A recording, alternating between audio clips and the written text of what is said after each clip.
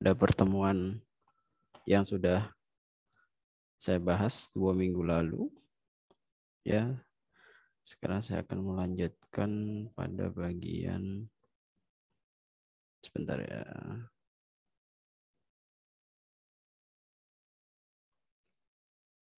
Ya, masih tetap pada apa namanya? bab faktor yang mempengaruhi atau tentang pergaulan remaja ya. Nah, sekarang kita akan membahas tentang faktor-faktor yang mempengaruhi pergaulan remaja ya. Jadi banyak tentunya banyak faktor yang mempengaruhi kenapa remaja bisa bergaul uh, dalam tanda kutip menyimpang atau tidak sesuai ya banyak sekali faktor-faktor yang mempengaruhi ya oke kita akan bahas satu persatu silahkan disiapkan dulu buku paketnya dibuka buku paketnya di halaman. Bentar ya.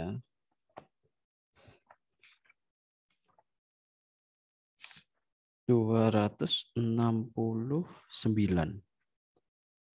Dua ratus enam puluh sembilan.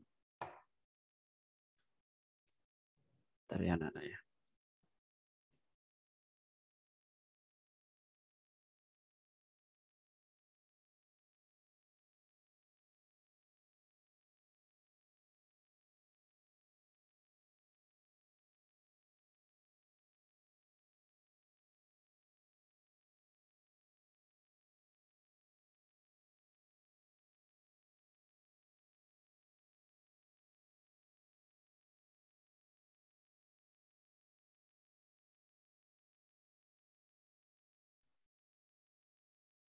Oke, sudah ya. Uh, saya akan lanjutkan pembahasan pada pertemuan kali ini. Ini pertemuan yang terakhir untuk materi pergaulan bebas ya atau pergaulan remaja. Nah, yang akan saya bahas hari ini adalah faktor yang mempengaruhi pergaulan remaja itu ada lima faktor ya. Yang pertama yaitu kondisi fisik ya kondisi fisik seseorang. Bagaimana apa sih yang dimaksud dengan kondisi fisik seseorang? Ya. Saya mau bertanya terlebih dulu sama Kennedy. Halo Kennedy. Uh, halo Mister. Oke, Kennedy, uh, Mister Andi mau bertanya. Kennedy uh, suka olahraga kelihatannya kan ya waktu apa namanya? Sebelum pandemi ya, sering ya. Kalau di sekolah ya? Sering. Oke, sering. Nah sekarang Mr. Andi mau nanya Kennedy, kalau seumpama kondisi fisiknya Kennedy kurang sehat, nyaman nggak berolahraga? Uh, enggak. Biasanya lebih memilih seperti apa? Lebih memilih kegiatan apa? Uh, kalau apa? Kalau lagi nggak enak ya? Iya kalau betul. Oh, uh, kalau lagi nggak enak itu biasanya uh, olahraganya itu main catur aja kayak gitu atau enggak okay. baca buku. Oke, okay. mengurangi aktivitas fisik tentunya ya. Uh, iya. Oke, okay, oke. Okay. Thank you Kennedy ya. Ya. Oke, okay. nah jadi eh, faktor yang pertama ini yang kita bahas adalah tentang kondisi fisik seseorang. Ya. Biasanya anak-anak seusia kalian, usia remaja, usia dari 12 tahun, usia di mana fisik itu sangat luar biasa bagusnya, ya sangat luar biasa baiknya. Saya jarang melihat anak-anak muda seusia kalian atau anak-anak SMA ya uh, tidak energik itu jarang. Rata-rata seusia-usia anak-anak apa 12 tahun sampai 20 tahun itu usia-usia di mana memiliki kondisi fisik yang sangat kuat, yang sangat bagus, yang sangat prima, ya dan di sanalah yang menunjang untuk kita bisa melakukan aktivitas atau pergaulan-pergaulan. Tadi saya tanya kepada Kennedy, kalau seumpama Kennedy kondisi fisiknya baik, saya sering kali lihat memang ya. Kalau nggak kalau nggak salah, Kennedy itu dulu sukanya main bulu tangkis. Jadi setiap kali apa namanya, setiap kali istirahat itu pasti sama teman-temannya ada di hall hal sekolah untuk main bulu tangkis. Itu selalu saya lihat. Kalau pas ke ke hall pasti lewat pasti ada Kennedy. Nah, tetapi pada saat kondisi fisiknya sedang tidak baik, kondisi fisiknya sedang tidak sehat, Kennedy memilih aktivitas kegiatan lain yang tidak melibatkan yang tidak membutuhkan banyak tenaga. Karena apa? Kondisi fisiknya sedang tidak baik. Nah, sekarang sama halnya dengan masalah yang namanya pertemanan atau pergaulan. Ya, apalagi anak-anak muda sekarang ya kan? Fasilitas semuanya ada fasilitas semuanya mudah didapatkan dari orang tua kan? Yang namanya pertemanan pergaulan ya itu mudah sekali dipengaruhi dari berbagai macam sudut ya. Kalau kita apa namanya kalau kita kondisi fisiknya sedang oke, okay, sedang baik, sudah pasti kita diajak teman kita. Contohnya, yuk kita melalui yuk ke mana namanya ke level gitu. Oke, okay. yuk kita ke pantai yuk. Yang yang cowok-cowok yuk main futsal yuk sama-sama yuk gitu. Yang cewek-cewek yuk nonton yuk gitu. Nah, itu pengaruh-pengaruh seperti itu yang yang apa namanya? Yang mendukung yaitu dari kondisi fisik ini. Ya. Jadi semakin baik kondisi fisiknya, arah pergaulan itu semakin luas tentunya. Ya. Kalau dulu saya masih seusia kalian apa namanya aktivitasnya aktivitas di rumah itu jarang sekali. Aktivitas di rumah itu hanya makan saja, makan siang, habis itu pergi lagi main lagi. Habis itu pulang mandi, habis mandi sore apa sore gitu ya, habis maghrib uh, pergi lagi main lagi. Jam 9 baru pulang. Nah, itu anak remaja, anak muda itu seperti itu dulu, ya. Nah, ini faktor yang pertama yang mempengaruhi adalah kondisi fisik seseorang tersebut. Yang kedua adalah kebebasan emosional. Ya, yang dimaksud kebebasan emosional ini dari pribadi uh, orang tersebut. Tentunya ini dari pola asuh daripada uh, keluarga atau orang tua itu. Ya, jadi anak-anak itu, uh, remaja itu, dia memiliki apa namanya karakter. Terus kalau udah emosi itu di di apa namanya dipengaruhi dari pola asuh sejak dia kecil dari orang tuanya. Ya, pola asuh dari sejak kecil daripada orang tuanya. Jadi tidak uh, menuntut kemungkinan ya, tidak menuntut kemungkinan orang tua orang tua yang dari yang mendidik anak-anaknya dari sejak kecil dengan disiplin yang sangat kuat, disiplin dalam artian dari segala hal ya. Disiplin bukan masalah waktu saja, tapi dari berbagai macam ini akan menimbulkan yang namanya uh, apa namanya kendali emosional yang sangat bagus buat anak-anak di usia-usia remaja. Ya, saya kemarin berapa hari lalu ya, dua hari lah, eh kemarin dah. Kemarin saya tidak sengaja saya lihat di sosial media itu ada di daerah Singaraja yang anak-anak muda, segerombolan anak-anak muda itu dia melakukan perkelahian, perkelahian ya. Sampai apa namanya? Biasalah. Zaman sekarang itu kan mudah sekali diviralkan ya diviralkan, diangkat ke sosial media itu sangat cepat sekali sekarang. Nah, itu anak-anak muda usia SMA kalau nggak salah kemarin. Nah, ini pengaruhnya dari ini.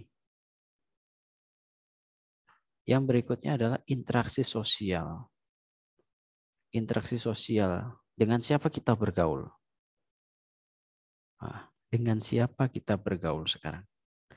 Interaksi sosial. Kalau kalian, teman-teman kalian, orang-orang yang dalam artian terdidik, teman-teman kalian dalam artian anak-anak yang memiliki latar belakang keluarga yang baik, ya, latar belakang keluarga yang baik, latar belakang keluarga yang peduli kepada anaknya, sudah pasti interaksi sosial, kalau kalian berteman dengan orang-orang yang seperti itu, interaksi sosial kalian dengan orang-orang seperti itu, kalian tidak akan terjebak, ya, tidak akan terpengaruh pergaulan yang tidak baik. Yakin saya. Tetapi kalau kalian bergaul dengan atau berinteraksi dengan orang anak-anak atau e, remaja yang dalam tanda kutip latar belakang orang tuanya tidak jelas, latar belakang pendidikan anaknya tidak jelas, terus kalau udah pola asuh yang tidak baik, pola asuh yang tidak benar, ya mudah pasti akan ke arah pergaulan-pergaulan yang menyimpang jadinya. Makanya interaksi sosial ini sangat menentukan sekali. Ya, interaksi sosial ini sangat menentukan. Kalau kalian di sini ada yang eh, apa namanya di sebelum masa pandemi rajin beribadah ya di gereja ada yang namanya uh, kaum remaja gitu kan atau ibadah remaja Terus kalau udah di dalam remaja itu kan ada banyak ada banyak ini ya kegiatan-kegiatan ya. Contohnya kegiatan apa? Dance contohnya, kegiatan paduan suara, kegiatan apa musik seperti itu ya. Nah, itu interaksi sosial yang positif anak-anak. Interaksi sosial yang baik. Dan kalau kita memiliki rekan-rekan teman-teman di dalam sebuah pelayanan bergereja itu impactnya kepada diri kita sendiri itu sangat baik sekali. Ya, saya dulu soalnya uh, aktivis di gereja saya pada saat saya pemuda dan itu dampaknya sampai sekarang itu sangat kuat sekali. Ya. Dampak sangat kuat juga kalau kita berteman dengan teman-teman yang atau orang-orang yang dalam tanda kutip memiliki karakter yang tidak baik. Itu dampaknya juga sangat kuat. Jadi bagaimana kita akan mengisi diri kita itu tergantung interaksi sosial kita kepada siapa, dengan siapa. Ya, dengan siapa. Yang berikutnya adalah pengetahuan terhadap kemampuan diri. Ya. Yang terakhir, saya percepat penguasaan diri terhadap nilai-nilai agama. Ya. Makanya kita bersyukur kalau orang tua kita mewajibkan kita mengikuti kegiatan peribadahan kegiatan keagamaan dengan baik. Kita dikenalkan ya, diperkenalkan dengan yang namanya eh, nilai-nilai keagamaan dengan baik. Itu kita bersyukur. Agama apa pun saya rasa seluruh orang tua pasti akan mendukung kita, mendorong kita untuk eh, menerapkan nilai-nilai keagamaan. Yakin saya. Ya, yakin saya. Jadi bukan tidak ada satu agama yang hebat, tidak ada. Tidak ada satu agama yang terbaik, enggak ada. Semua agama baik. Ya kan? Semua agama baik. Sekarang lebih baik lagi bagaimana kalau kita bisa menerapkan ya kan? Menerapkan nilai-nilai keagamaan di dalam diri kita. Sehingga apa? Kalau kita akan melakukan tindakan-tindakan yang tidak tepat, otomatis kita ingat, oh tidak baik saya melakukan seperti ini. Oh, dilarang di ajaran agama saya. Oh, ini tidak sesuai dengan ajaran agama saya. Oh, ini tidak uh, pernah kakak rohani saya mengatakan ini tidak baik. Nah, ini penguasaan diri terhadap nilai-nilai keagamaan itu penting. Ya. Penguasaan diri.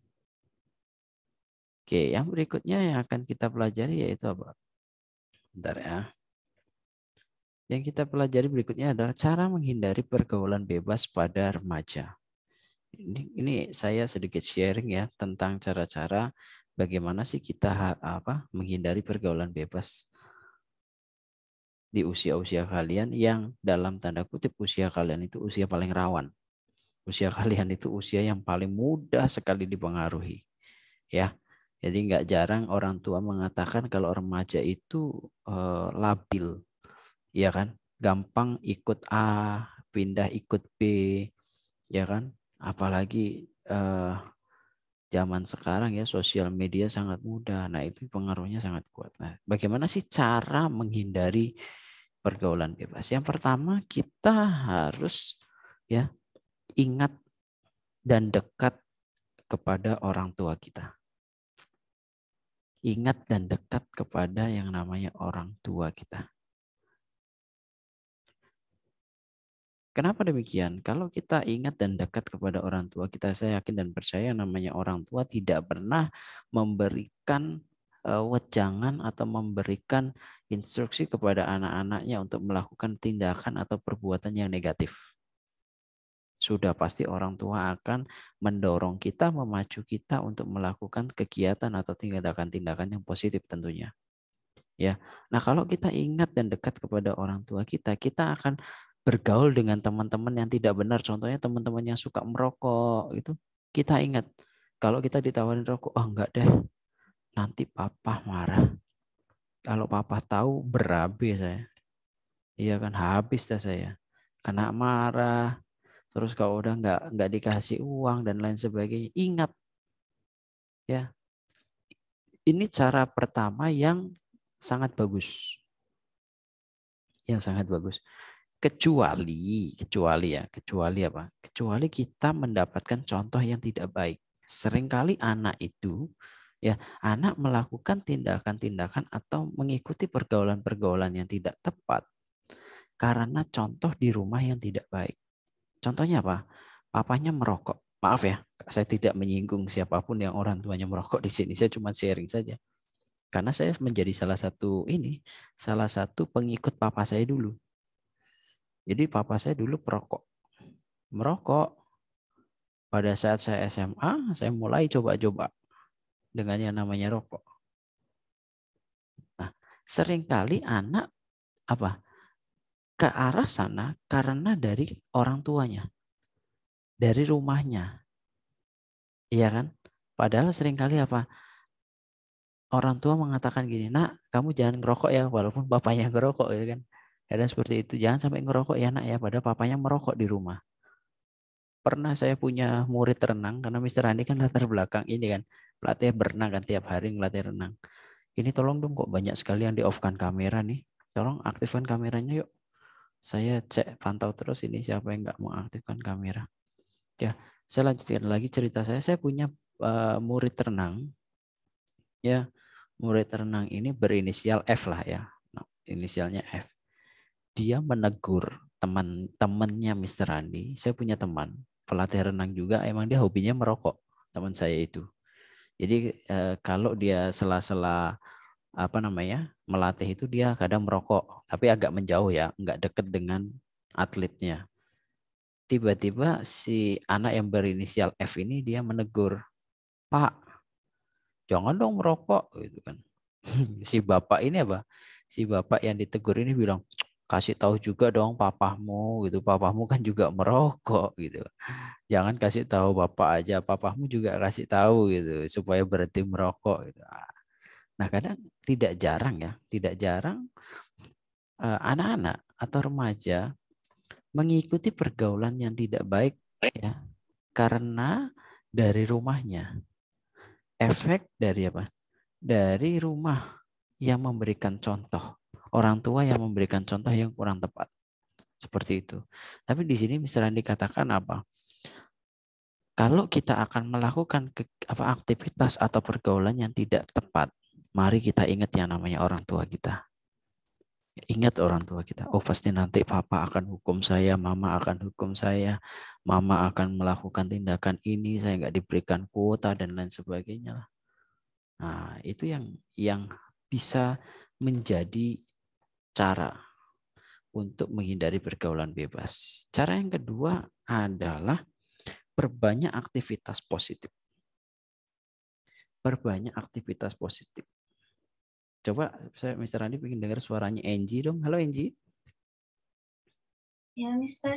Oke, Angie, coba dong sebutkan dong aktivitas-aktivitas positif apa untuk kalangan remaja Angie untuk mendukung supaya tidak terlibat dalam pergaulan bebas, Ji.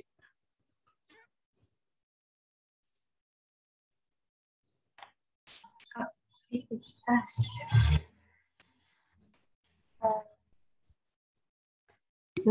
berolahraga, menanam bunga, menanam tanaman, berkebun. Oke, berolahraga sama berkebun ya. Oke, dari Angie itu. Coba dari yang cowok saya mau min mau pengen dengar suaranya ini dong. Siapa nih namanya ya? Gilang. Halo Gilang. Ya, kameranya bisa diaktifkan, Gil.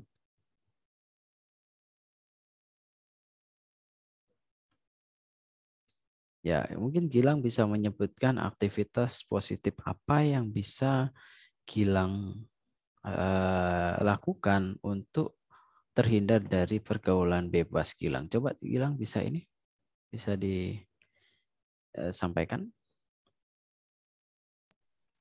Uh, olahraga, Mister. Berolahraga uh, uh, satu. Tadi kan sudah Enji sebutkan. Yang lain coba. Apa Gil? Bantuin orang tua. Oke, membantu orang tua. Terus apa lagi Gil? Hmm? Nggak tahu, Mister. Nggak kepikir.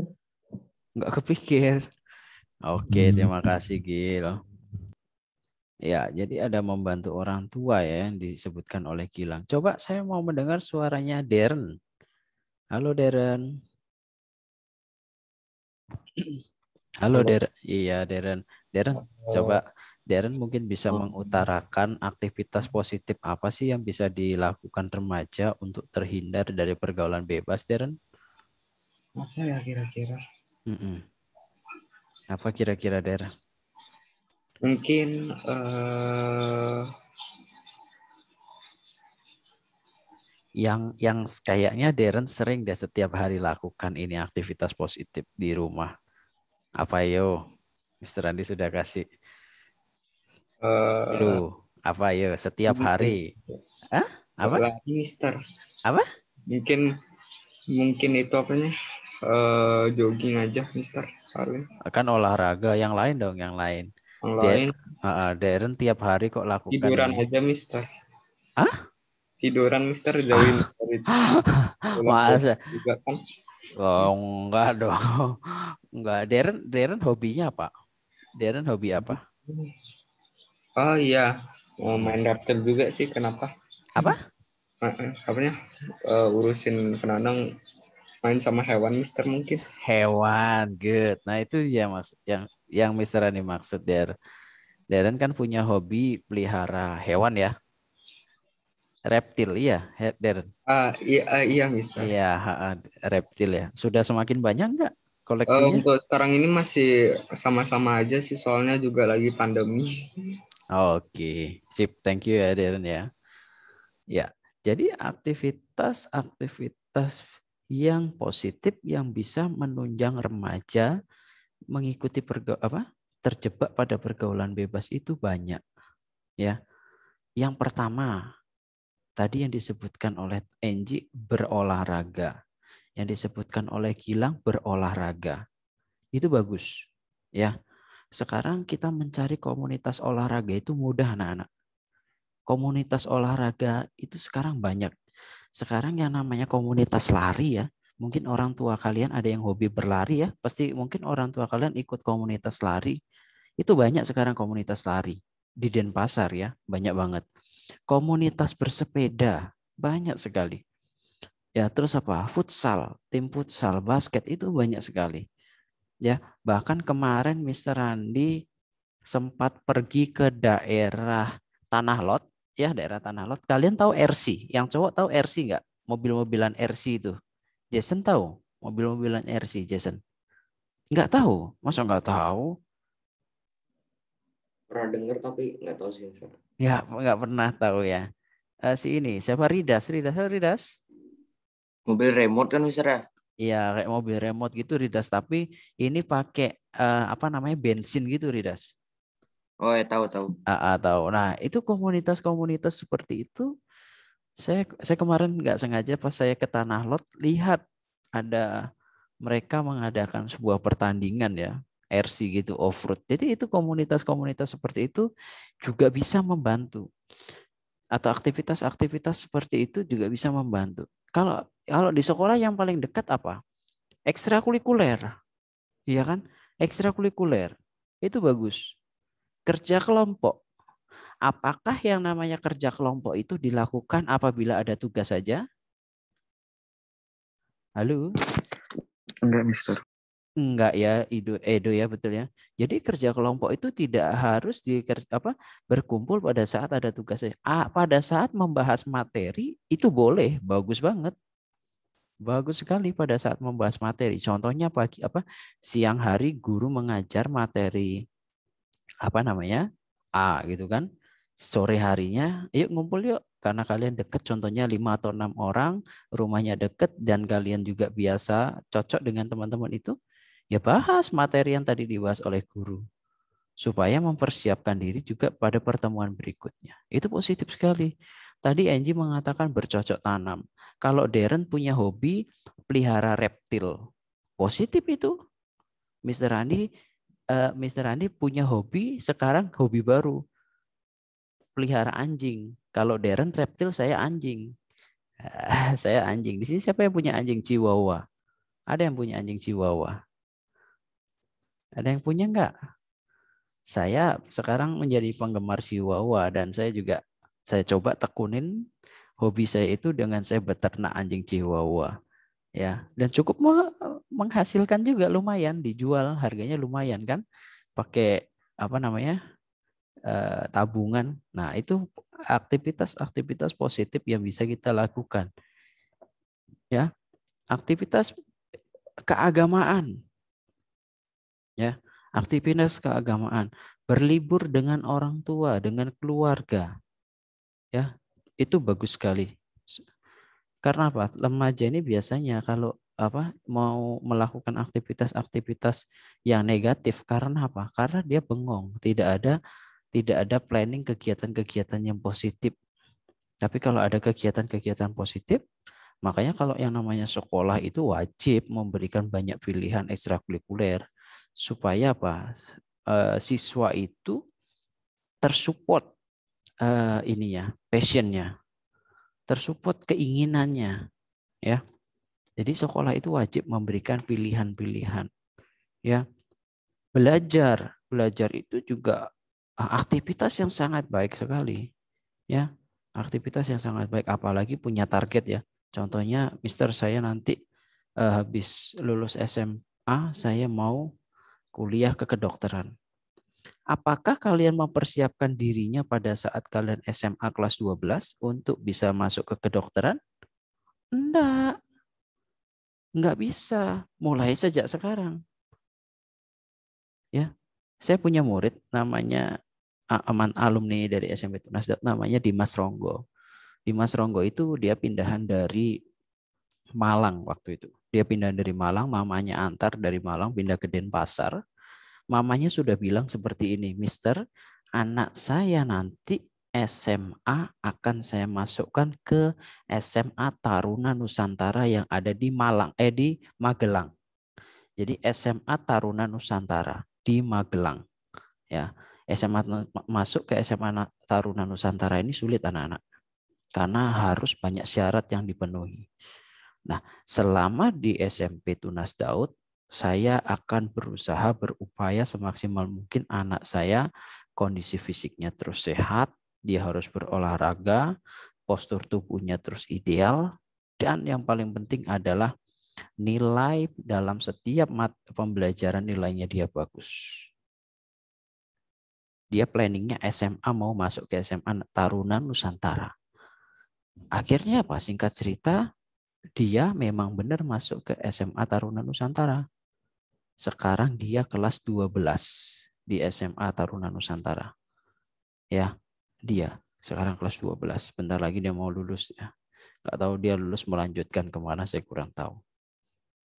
Nah, yang yang ketiga untuk menghindari pergaulan bebas remaja adalah taat yang namanya aturan. Taat aturan. Ya kan? negara kita punya aturan. Ya kan? Agama kita punya aturan. Orang tua kita, keluarga kita pasti punya yang namanya peraturan untuk di rumah. Ya kan?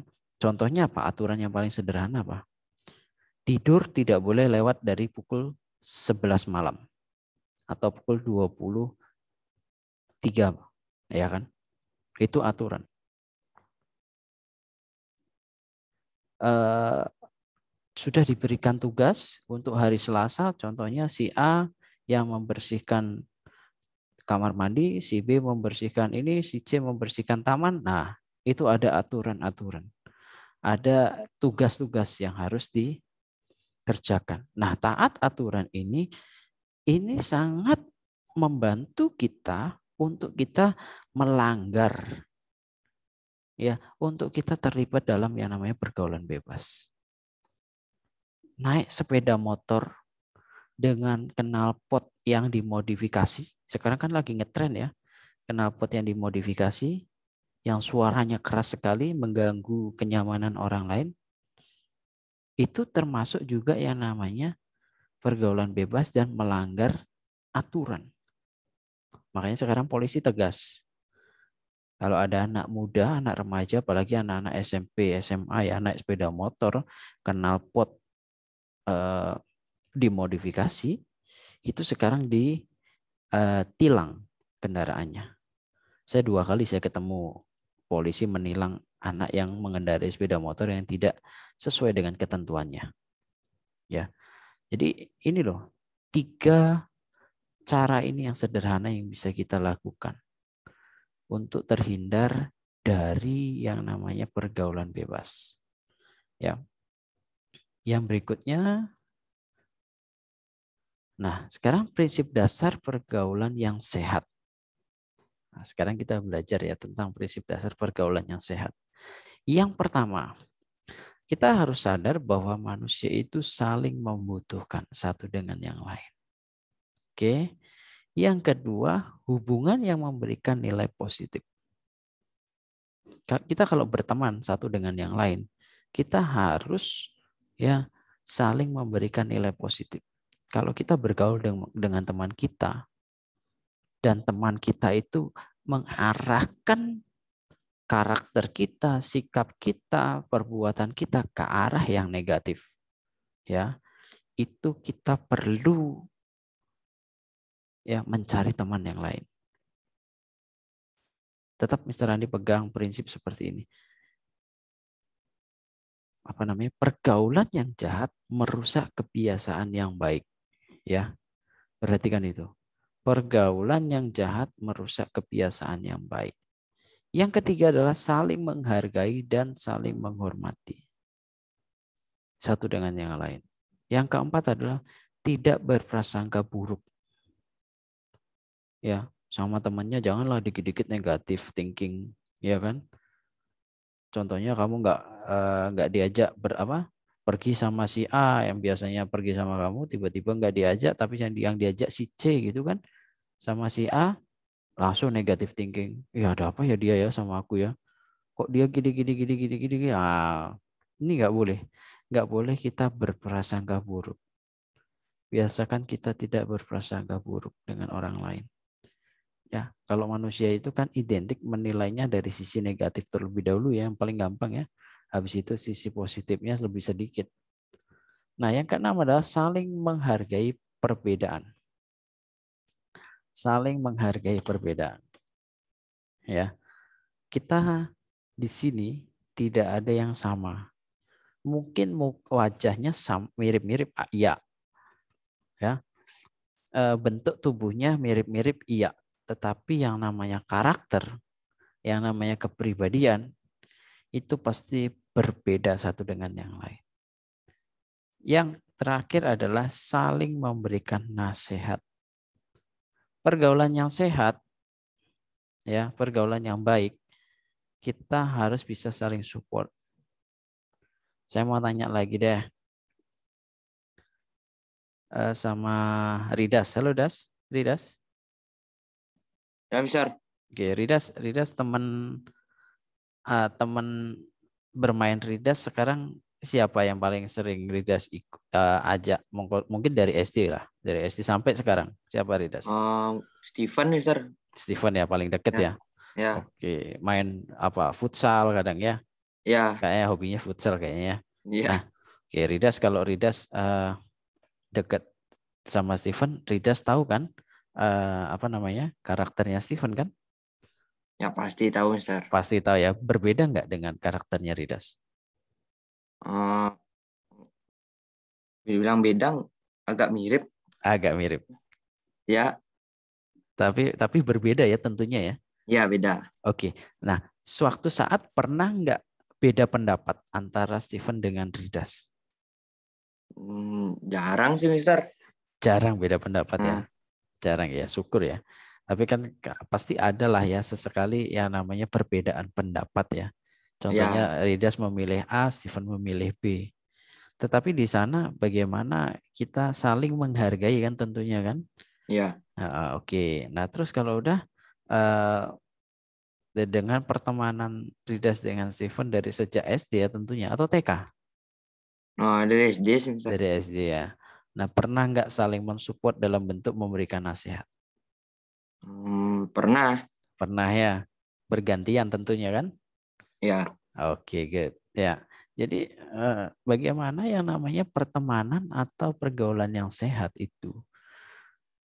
Ya, prinsip memberikan nasihat ini sangat penting. Kalau kita di agama, maaf ya Mr. Andi menyinggung agama Kristen, ada yang namanya kakak rohani. Biasanya ya, Enji ya mungkin ya tahu ya Enji atau Edu ya, tahu ya mungkin punya kakak rohani di gereja contohnya kakak pembina remaja gitu kan. Biasanya kan kalau di komsel biasanya kan ada apa ya gembala komsel atau koordinator komsel kayak gitu ya Do ya Enji ya mungkin ya nah biasanya atau Jason kan Ya. Uh, uh, biasanya kayak gitu kan uh, sering kali kan uh, orang-orang yang seperti itu bisa memberikan nasihat-nasihat kepada kita kan. Biasanya kan masukan-masukan atau yang hal-hal yang positif untuk kita supaya terhindar dari yang namanya pergaulan atau aktivitas-aktivitas yang menyimpang yang tidak baik. Ya. Oke anak-anak mungkin saya cukupkan untuk materi uh, kita tentang pergaulan remaja ini. Ya, sekarang saya akan mengecek kemampuan kalian dalam menangkap materi yang saya sampaikan. Ya, silahkan anak-anak mempersiapkan buku paketnya. Mr. Andi akan memberikan tugas. Ya, tugas untuk mengetahui seberapa pemahaman kalian tentang materi yang sudah disampaikan yaitu tentang pergaulan remaja. Oke, anak-anak silahkan bisa dibuka bu- dulu buku paketnya halaman 273. Mister Rani minta kalian mengerjakan latihan soal. Ada latihan soal pilihan ganda, jumlahnya 12 soal. Ada soal esai, jumlahnya 3 soal.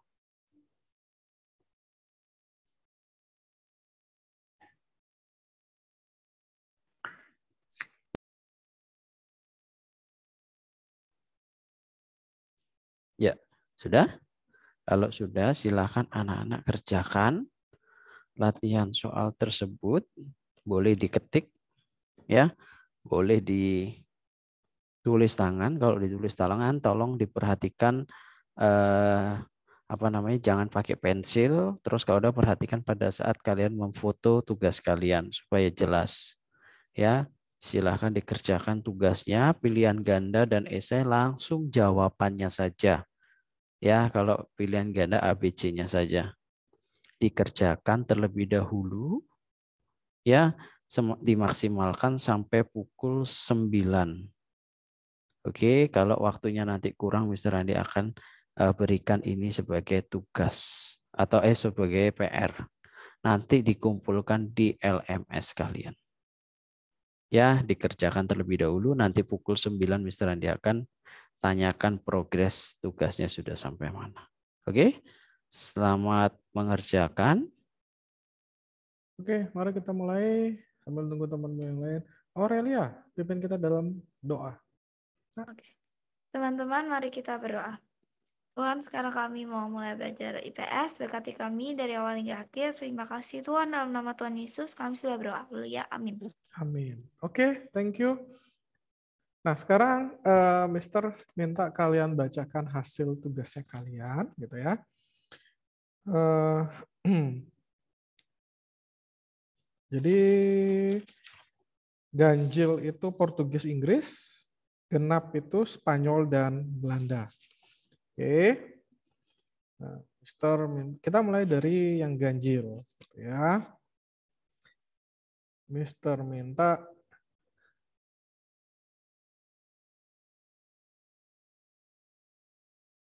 Stephen Suwijaya. Stephen Suwijaya. Kamu kan absen 21 ya. Nah, berarti ganjil eh, yang Portugis, yang Portugis. Bisa aktifkan kameramu, eh bisa aktifkan kameramu lagi bermasalah. Eh, bisa aktifkan audiomu, setelah itu bacakan hasil apa yang kamu dapat dari tugasmu gitu ya. Stephen? Uh, ya, Mister. Yang mana dulu? Uh, kamu baca ya tinggal yang gini aja. Kamu kan Portugis Inggris kan? Benar ya? Oke, yang Portugis nak, yang Portugis. Oke, Mister. Uh, tokoh penjelajahnya Alfonso de Albuquerque. Daerah yang dikunjunginya berserta tahunnya Maluku tahun 1500-an. Terus informasi lainnya sebelum mendarat di Maluku, Alfonso mendarat di Goa India pada tahun 1510. Dan berkat Alfonso, eh, bangsa Eropa tahu Indonesia menghasilkan rempah-rempah. Oke. Oke, sip. Uh, Jeremy. Jeremy Joseph, sama ya? Portugis. Iya, Mister, sama. Ya, yang enggak maksudnya kamu ja, kamu baca hasilmu yang Portugis. Oke, untuk Portugis tokoh penjelajahannya ini Vasco de Gama. Untuk daerah yang dikunjungi itu dari kali yang dikunjungi itu Kalikut di India pada tahun 1497. Jadi informasinya itu adalah kedatangan Vasco de Gama, de Gama ini menandai keberhasilan Portugis menemukan rute pelayaran menuju ke arah timur. Nah, mereka ini membangun pangkalan dagang di Goa, India pada tahun 1510. Lalu pada 1511 mereka menguasai Malaka dan berdagang di bawah pemerintahan Gubernur Alfonso de Albuquerque. Sampai pada akhirnya di tahun 1512, mereka sampai di Kepulauan Maluku di bawah pimpinan Antonio de Abreu dan Francisco Serrao. Dan kedua wilayah tersebut menjadi wilayah penghasil rempah-rempah yang terbaik di sana. Oke, sip. Oke, Nah sekarang tadi yang Portugis, oke, yang Inggris, Kennedy, Kennedy ada? Oke, Kennedy yang Inggris nak. Oh, Oke. Okay.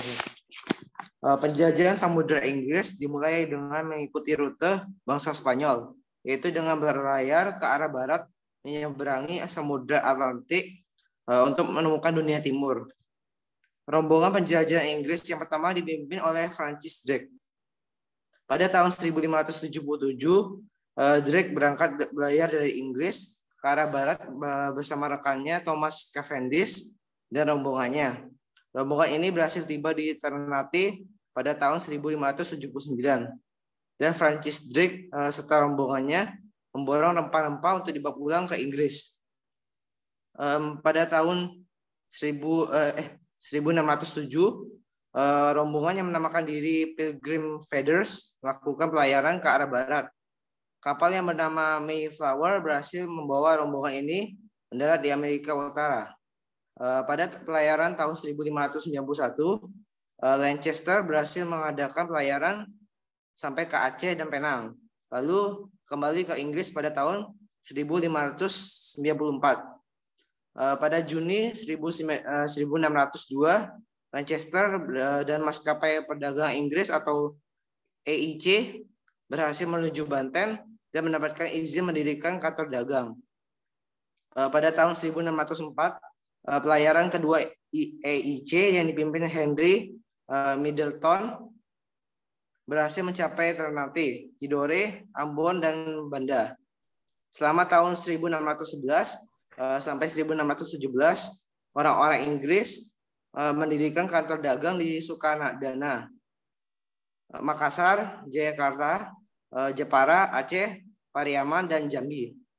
Pada tahun 1688, William Dampier melakukan pelayaran dan berhasil mendarat di Australia dan terus melanjutkan pelayaran dengan menelusuri pantai ke arah utara. Pada tahun 1770 eh, James Cook berhasil mendarat di pantai timur Australia dan menjelajahi pantai Australia secara menyeluruh pada tahun 1771. Eh, 71. Oleh karena itu James Cook sering dikatakan sebagai penemu benua Australia. Oke, sip. Thank you. Nah, uh, Wulan, Wulan, Wulan, Wulan, Wulan.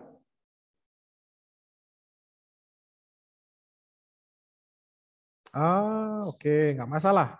Kalau kamu ngerjain yang genap. Yang penting kamu mengerjakan tugasnya, kan ya? Oke. Okay. Uh, tadi stop perkara sesuai.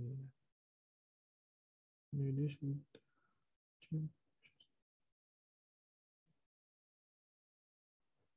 Adel. Adel yang Inggris nak. Yang Inggris nak, yang Inggris. Oke. Sama toko penjajahannya kan? Iya. Uh, iya betul. Oke.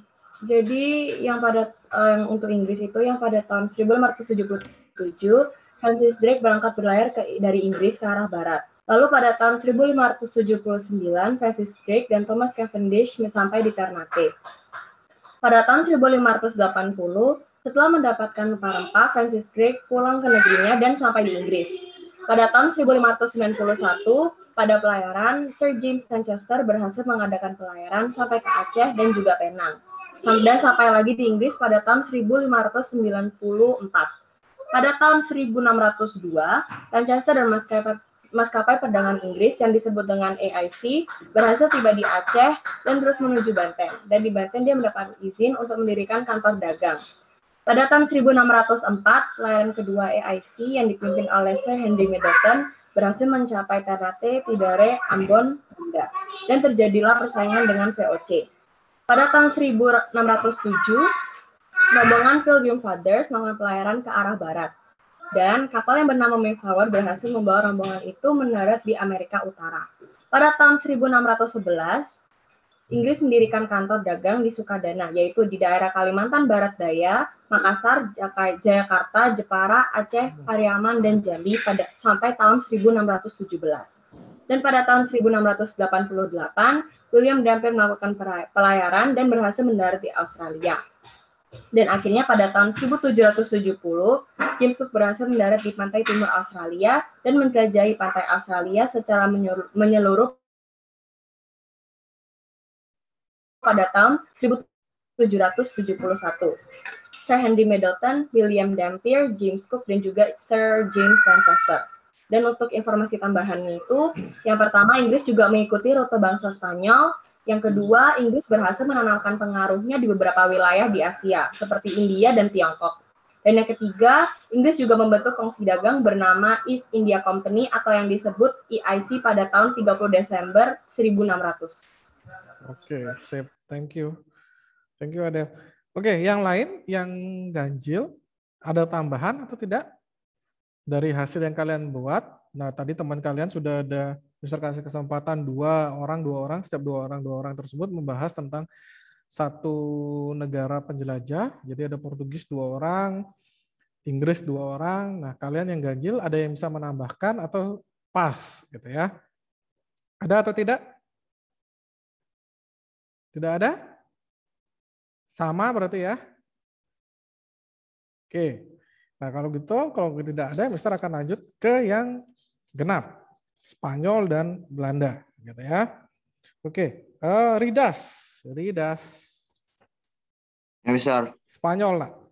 Tokohnya, Mister ya? Iya. Satu aja kan, Mister ya? Terserah berapa, bebas. Uh, yang tokohnya toko-toko yang melakukan penjelajahan dan daerah yang dikunjunginya itu ada Christophorus Columbus pertama kali menerapkan teori geosentris yang dikemukakan oleh Nicolaus Copernicus pada tahun 1492. Spanyol berupaya menemukan rute baru menuju dunia timur dengan berlayar ke arah barat menyeberangi Samudra Atlantik. Tiga bulan berlayar, Christophorus Columbus berhasil mencapai Kepulauan Bahama pada 1492. Uh, yang kedua ada Amerigo Vespucci. Amerigo Vespucci memulai penjelajahan pada 1497 mengikuti rute yang ditempuhi oleh Columbus. Tahun 1499, Amerigo Vespucci mencapai Amerika Selatan dan memimpin eksplorasi di benua tersebut. Ketiga ada Ferdinand Magellan. Setelah menemukan benua Amerika, bangsa Spanyol melanjutkan rute pelayaran menyeberangi Samudra Pasifik. Ferdinand Magellan memimpin penjelajahan samudra bangsa Spanyol pada tahun 1519 yang berhasil mencapai Kepulauan Filipina. Sayangnya, ia terbunuh dalam konflik penduduk setempat dan ia digantikan oleh Sebastian Del Cano. Yang terakhir, Sebastian Del Cano menggantikan Ferdinand Magellan untuk melanjutkan penjelajahan berhasil, dan berhasil mencapai Kepulauan Maluku pada 1521. Nah, sir. Oke, sip. Thank you, Ridas. Oke, masih sama ya yang Spanyol. Trisi Alicia. Trisi Alicia. Hmm, Oke, yang Spanyol nak? Hmm. Tokoh penjelajahnya itu ada Christopher Columbus, Columbus pada tanggal 3 Agustus 1492 dengan menggunakan tiga buah kapal yaitu Santa Maria, Nina, dan Pinta. Columbus mulai berlayar mencari sumber rempah-rempah di dunia timur. Setelah berlayar lebih dari dua bulan mengarungi Samudra Atlantik, sampailah Columbus di Pulau Guanahani yang terletak di Kepulauan Bahama, Karibia. Ia merasa telah sampai di Kepulauan Hindia Timur yang merupakan sumber rempah-rempah. Ia menanam, menamai penduduk asli di kawasan itu sebagai Indian. Selanjutnya Kepulauan Bahama dikenal sebagai Hindia Barat. Columbus bersama seorang penyelidik bernama Amerigo Vespucci antara tahun 1492 sampai 1504 berlayar terhitung empat kali. Mereka menemukan benua baru yang dinama Amerika. Jadi penemu benua Amerika adalah Christopher Columbus. Yang kedua ada Cortes dan Pizarro. Sejak Columbus menemukan benua Amerika, menyusut menyusul pelaut-pelaut Spanyol seperti Cortes dan Pizarro. Cortes menduduki Meksiko pada tahun 1519 dengan menaklukkan suku Indian yaitu kerajaan Aztec dan suku Maya di Yucatan. Pizarro pada tahun 1530 menaklukkan kerajaan India di Peru yaitu suku Inca. Yang ketiga itu Ferdinand Magellan pada tanggal 10 Agustus 1516 Magellan berlayar ke barat didampingi oleh Kapten Juan Sebastian Cano dan seorang penulis dari Italia yang bernama Piga Peta. Penulis inilah yang mengisahkan perjalanan Magellan Delcano mengelilingi dunia yang membuktikan bahwa bumi itu bulat seperti bola. Pada tahun 1520, setelah menyeberangi Samudra Pasifik, sampailah rombongan Magellan di Kepulauan Nasava. Kepulauan ini kemudian diberi nama Filipina, mengambil nama Raja Spanyol Philips II.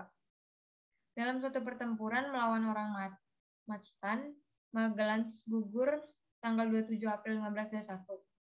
Akibat peristiwa itu, rombongan bergegas meninggalkan Filipina dipimpin oleh Sebastian Delcano menuju ke Pulau Maluku.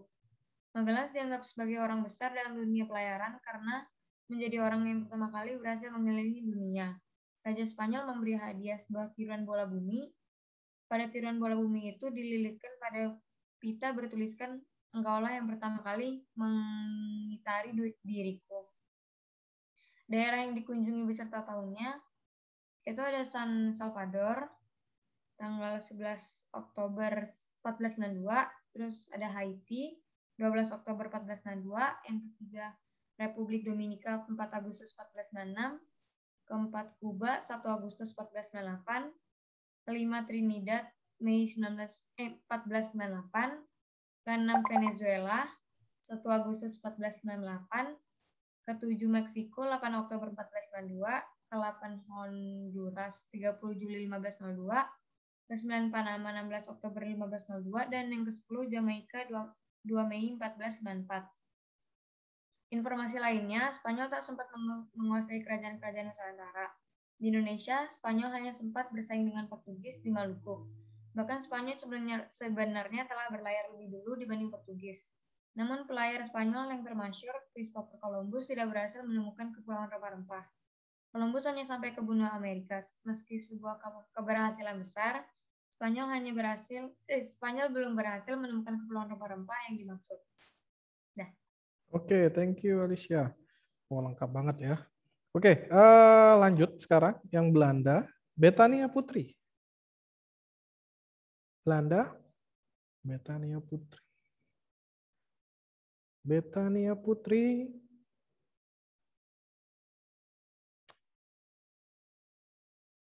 Elda atau Elda, Elda, Belanda, Elda. Ya, Mister. Oke, yang Belanda, yang Belanda. Eh, untuk Belanda, tokoh yang saya ambil itu Cornelis de Houtman. Oke. Houtman adalah seorang penjelajah Belanda yang menemukan jalur pelayaran dari Eropa ke Indonesia dan berhasil memulai perdagangan rempah-rempah bagi Belanda. Cornelis de Houtman lahir pada 2 April tahun 1565 di Gouda, Belanda dan meninggal pada 1 September 1599 di Kesultanan Aceh. Cornelis de Houtman memimpin pelayaran bangsa Belanda ke dunia timur pada tahun 1900, eh, 1595. Pada tahun 1596, rombongan ekspedisi Belanda tiba di Banten, tapi mereka mendapatkan penolakan dari masyarakat setempat dikarenakan sifatnya yang tidak menghargai masyarakat setempat. Selain itu, kedatangannya rombongan Belanda terlibat konflik dengan pedagang Portugis di Banten. Oke, thank you Elda. Eh, Darren, Darren, Darren. Darren Garrett. Darren Garrett. Ke eh, ya Mister. Oke, yang Belanda nak. Eh, belum sempat jawab Mister. Ah, itu sudah lama banget tugasnya. Kamu kok nggak belum buat? Oke, oke. Gabriela Maria. Ada nggak ya Gabriela Maria? Ada nih. Gabriela Santoso. Gabriela Santoso.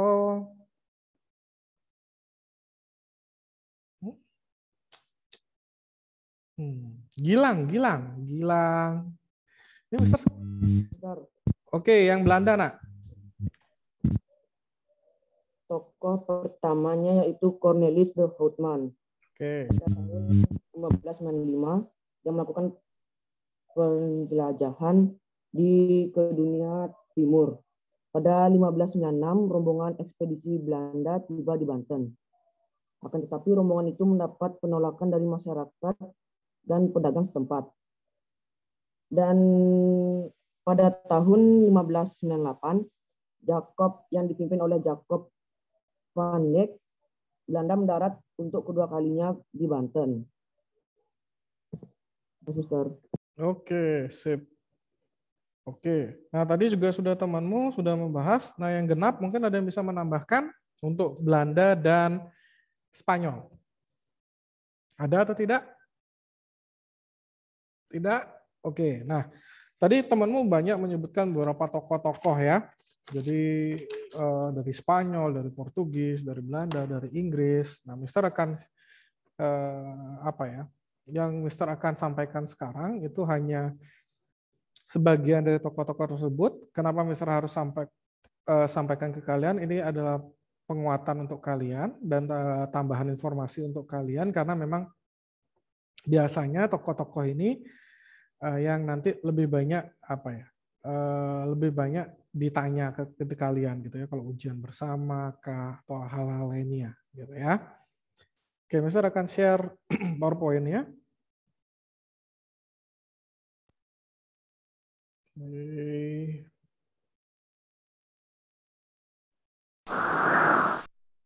Oke, kedatangan bangsa Eropa ke Indonesia. Jadi kalau ah,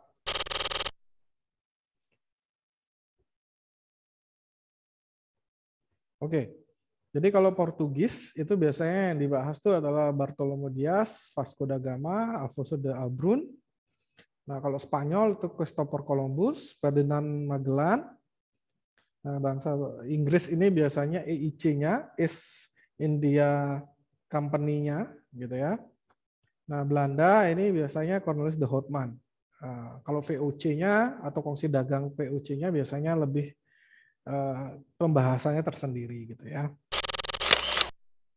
Nah, ini contoh gambar lada yang menjadi salah satu jenis rempah-rempah yang dicari pada saat itu gitu ya. Oke, yang pertama Portugis. Jadi Bartolomeu Bartolomeu Dias. Nah, Bartolomeu Dias ini gagal mencapai India, tetapi dia berhasil menemukan jalur baru ke Hindia Timur. Nah, dia juga menemukan yang namanya Cape of Good, uh, Good Hope gitu ya. Tanjung Harapan ini ya, dia yang menemukan. Oke, nah Vasco da Gama dia pemimpin ekspedisi ke timur menempuh jalur yang ditemukan Bartolomeu Dias. Jadi setelah Bartolomeu Dias gagal, nah Vasco da Gama ini yang istilahnya menggantikannya gitu ya, mengikuti jalur yang pernah ditempuh oleh Bartolomeu Dias. Nah, kalau Vasco da Gama ini sampai dia di Kalikut, Goa, India. Jadi kalau Bartolomeu Dias tidak sampai India, kalau Vasco da Gama sampai dia di India. Oke, nah kalau Alfonso da Albrun, jadi Alfonso da Albrun ini menguasai jalur perdagangan penting di Asia, termasuk perdagangan rempah-rempah. Nah, Malaka itu yang dia uh, sampai uh, Malaka itu merupakan batu loncatan untuk menguasai rempah-rempah di Maluku. Jadi dia sampai di Malaka dulu, baru dia sampai di Maluku. Nah di tahun 1511 dia berhasil menguasai Maluku. Nah kurang lebih gambarnya dia seperti ini ya di sejarah. Ya mungkin waktu itu kan nggak ada foto gitu ya, jadi masih dalam bentuk gambar gitu ya, gambarnya seperti ini. Oke, ini Alfonso de Albrun. Jadi ada apa namanya? Tiga, Bartolomeu Dias, Vasco da Gama, Alfonso da Albu. Oke, sekarang Spanyol, Christopher Columbus. Jadi Christopher Columbus pertama itu tujuannya sebenarnya adalah untuk mencapai Hindia Timur dari bagian barat. Ya, jadi dia eh, berlayar ke barat, tujuannya dia adalah Hindia Timur. Nah, selama dia berlayar kurang lebih dua atau tiga bulan, tergantung literasi yang kamu baca ya, ada yang bilang tiga bulan, ada yang bilang dua bulan. Nah, Columbus itu sampai di Kepulauan Bahama, Karibia. Nah, Columbus itu mengira sudah sampai dia di Hindia dari arah barat. Nah, makanya dia menamakan penduduk asli kawasan itu dinamakan Indian.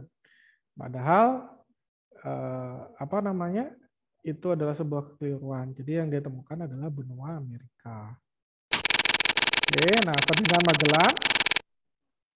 Nah, Ferdinand Magellan ini uh, melihat dari pengalamannya Columbus, dia banyak belajar dari pengalamannya Columbus. Nah, pada tahun 1520 ya, Ferdinand Magellan ini sampai di Filipina. Oke. Nah, pada saat 1520 ini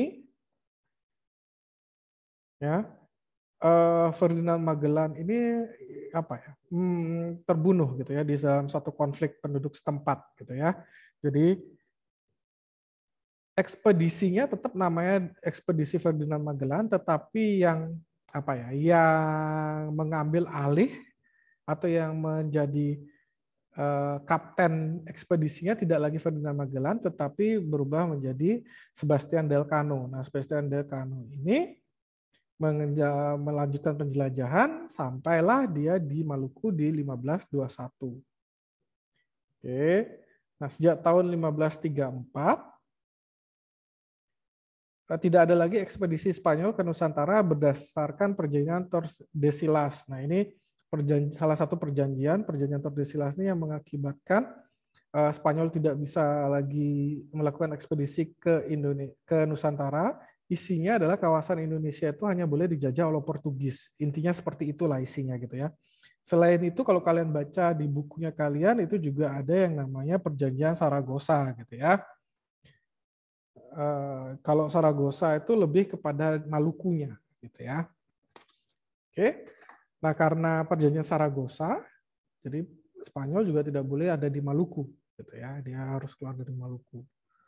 Nah, tapi yang uh, lebih apa ya, lebih terkenal karena memang gara-gara perjanjian Tordesillas ini sama sekali Spanyol tidak bisa melakukan lagi ekspedisi ke Nusantara. Oke.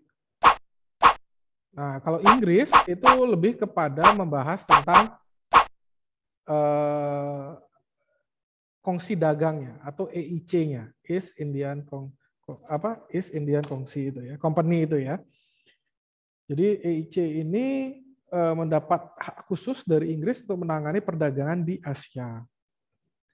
Oke, nah yang sempat berhubungan dengan kongsi dagang EIC ini antara lain Aceh, Jayakarta, Banjar, Goa, Maluku, gitu ya. Oke, nah itu yang sempat berhubungan dengan EIC. Nah, berjalannya EIC ini terdesak oleh Belanda, gitu ya. Ya terdesak oleh Belanda, eh, sehingga mau tidak mau EIC itu harus menyingkir, gitu ya dari Nusantara gitu. Nah, karena dia walaupun dia sudah menyingkir dari Indonesia, tetapi dia EIC ini masih memiliki pengaruh di Asia. Nah, pada tahun 1612, 1612, EIC ini berhasil mengusir Portugis dari India. Nah, di India inilah EIC mendirikan yang tiga kota dagang utama India. Namanya Madras, Kalkuta, dan Bombay. Madras, Kalkuta, dan Bombay. Oke. Nah, kalau tokohnya tadi yang melakukan penjelajahan awal uh, Inggris itu yang temanmu sebutkan tadi sudah benar Francis Drake beserta temannya itu adalah Thomas Cavendish gitu ya. Nah, ini gambar apa ya? Armada kapalnya Inggris lah. Gitu ya. Oke, sekarang Belanda.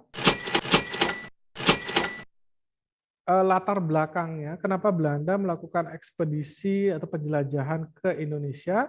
Yang pertama adalah karena perang selama kurang lebih 80 tahun antara Belanda dengan Spanyol.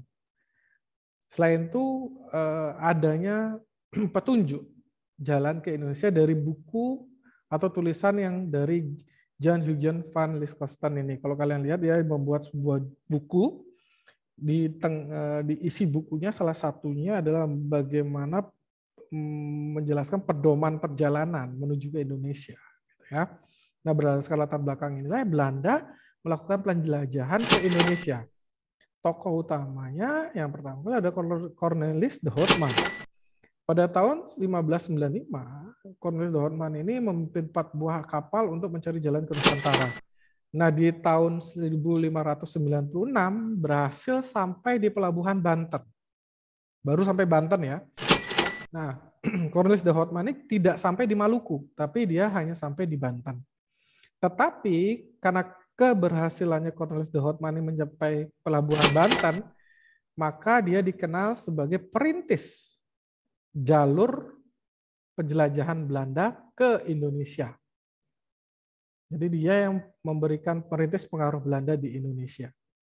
Setelah itu lebih banyak berbicara tentang VOC, kongsi dagangnya Belanda. Ya nanti ada kitab tersendiri membahas tentang VOC, gitu ya.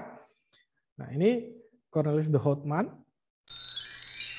Nah ini pada saat dia dat, uh, sampai di eh, pelabuhan Banten kurang lebih katanya sih gambarnya seperti ini gitu ya. Yang Mister nggak tahu karena dulu nggak ada foto ya hanya gambar ya seperti ini gitu ya.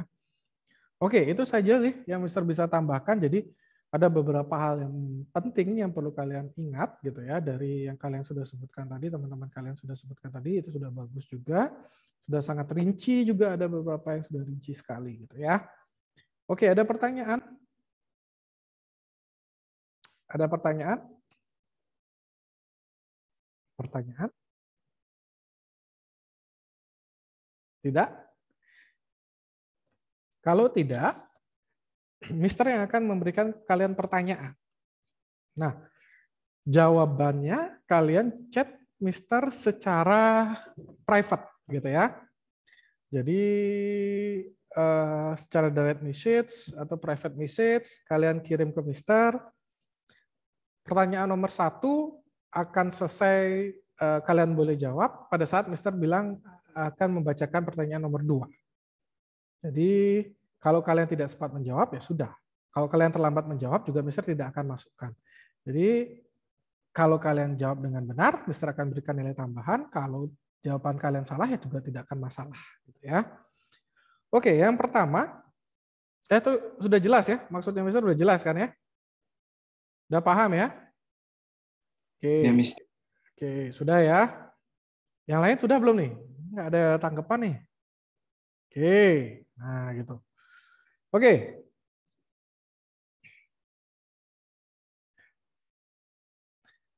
Yang pertama,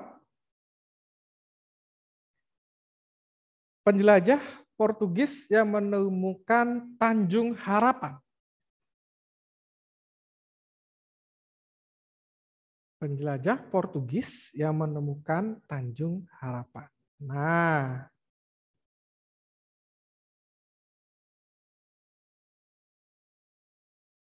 Oke. Kalau kamu kesulitan dalam karena mengaktifkan videomu, boleh dinonaktifkan dulu lah, biar kamu nggak nggak nggak kerepotan ya. Kamu bisa chat Mister. Ini sekalian Mister absennya kalian nih gitu ya. Karena tadi Mister panggil beberapa anak nggak aktif gitu.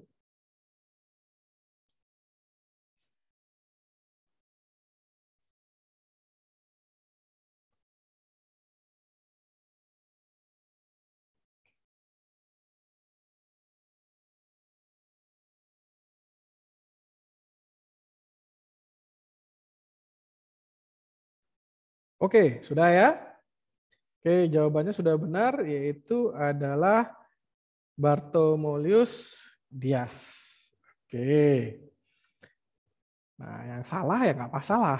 Nah, ini ada yang jawab B titik Dias. Oke, Mister benerin lah.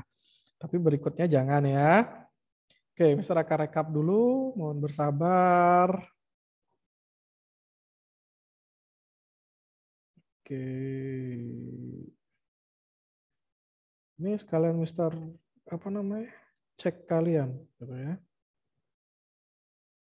Hadir nggak?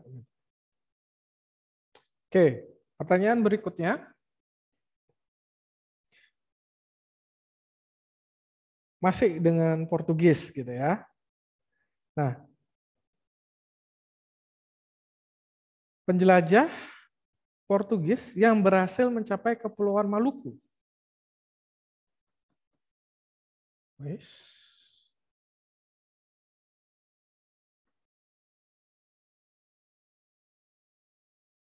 Penjelajah Portugis yang berhasil mencapai Kepulauan Maluku.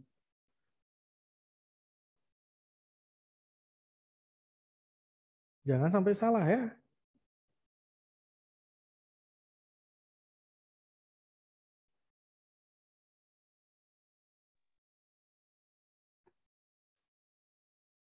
Penjelajah Portugis yang bisa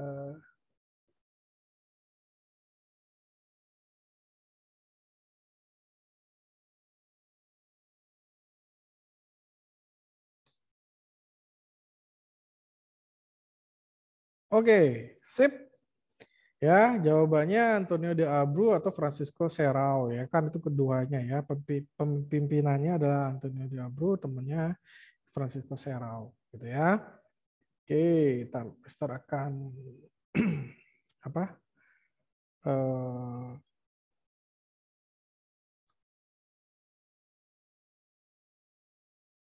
backup dulu.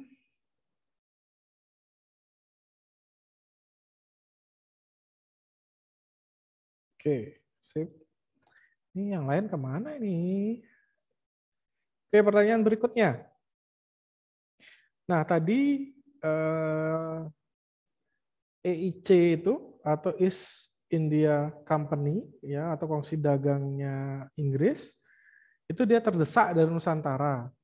Nah, di, dia berhasil mengusir uh, Spanyol uh, dari Maluku uh, dari India sehingga dia menguasai India secara penuh. Nah, dia membuat tiga kota dagang di India tiga kota dagang di India. Oke, nah sebutkan salah satu kota dagang tersebut. Nah, tadi kan Mister sudah bilang ada tiga kota dagang India yang di tiga kota dagang di India yang didirikan oleh EIC ini. Ah, sip. Eh, ah, oke oke. Bukan di Indonesia ya, bukan daerah yang dia jadi tempat pernah berhubung apa berhubungan dengan EIC bukan bukan. EIC mendirikan tiga kota dagang di India yang sampai sekarang masih ada ini sudah ada jawabannya benar.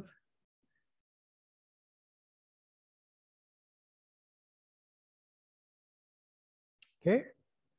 Ada lagi?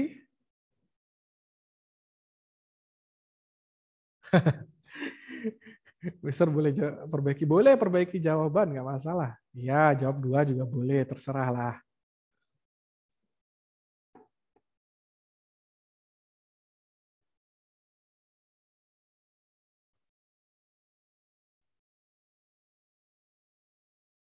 Nah, kalau itu kampanyenya, nak.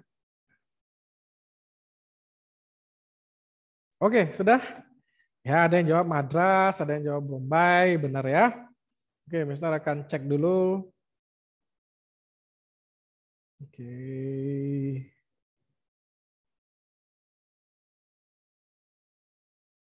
Ini ada dia pakai terjemahan lama, ya oke lah, boleh lah. Ya. Oke, pertanyaan berikutnya.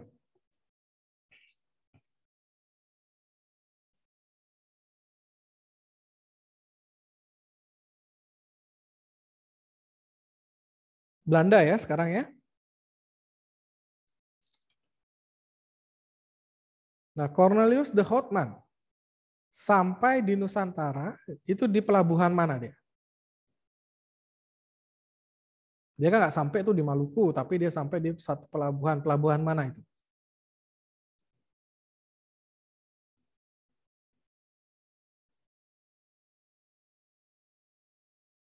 Yuk, pelabuhan mana?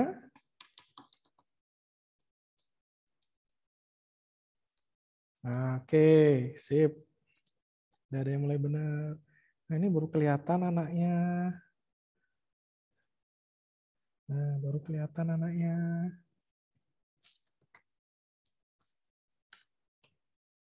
Wih.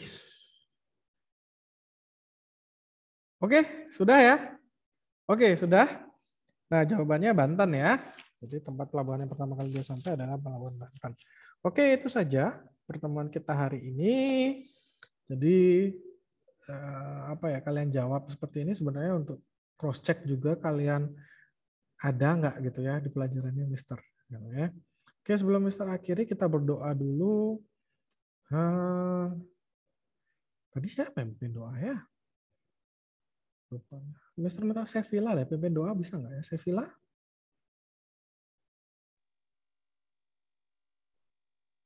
Oke, silakan Sevilla. Hmm, suaramu tidak terdengar, nak. Mungkin audiomu bermasalah. Hmm. Gilang, Gilang, Gilang. Pimpin kita dalam doa, Gilang. Gilang. Gilang. Teman-teman, mari kita berdoa. Oke.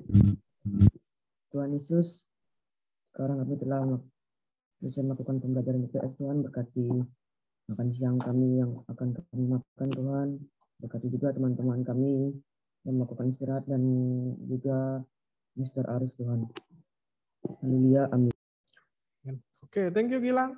Sampai bertemu di pertemuan selanjutnya ya. Tuhan Yesus memberkati, Mister. Yuk. Halo, selamat pagi anak-anakku kelas 8C. Halo. Yang bisa dengarkan suara Miss Yani, silakan open kamera. Halo Angel, selamat pagi. Selamat pagi Jeremy. Selamat pagi Adeline. Ayo anak-anak silakan open kamera. Baik, pagi hari ini uh, kita akan melanjutkan pelajaran agama dan budaya pekarti ya nak ya. Siapkan buku agama kalian, siapkan Alkitabnya ya. Halo Tania. Ya.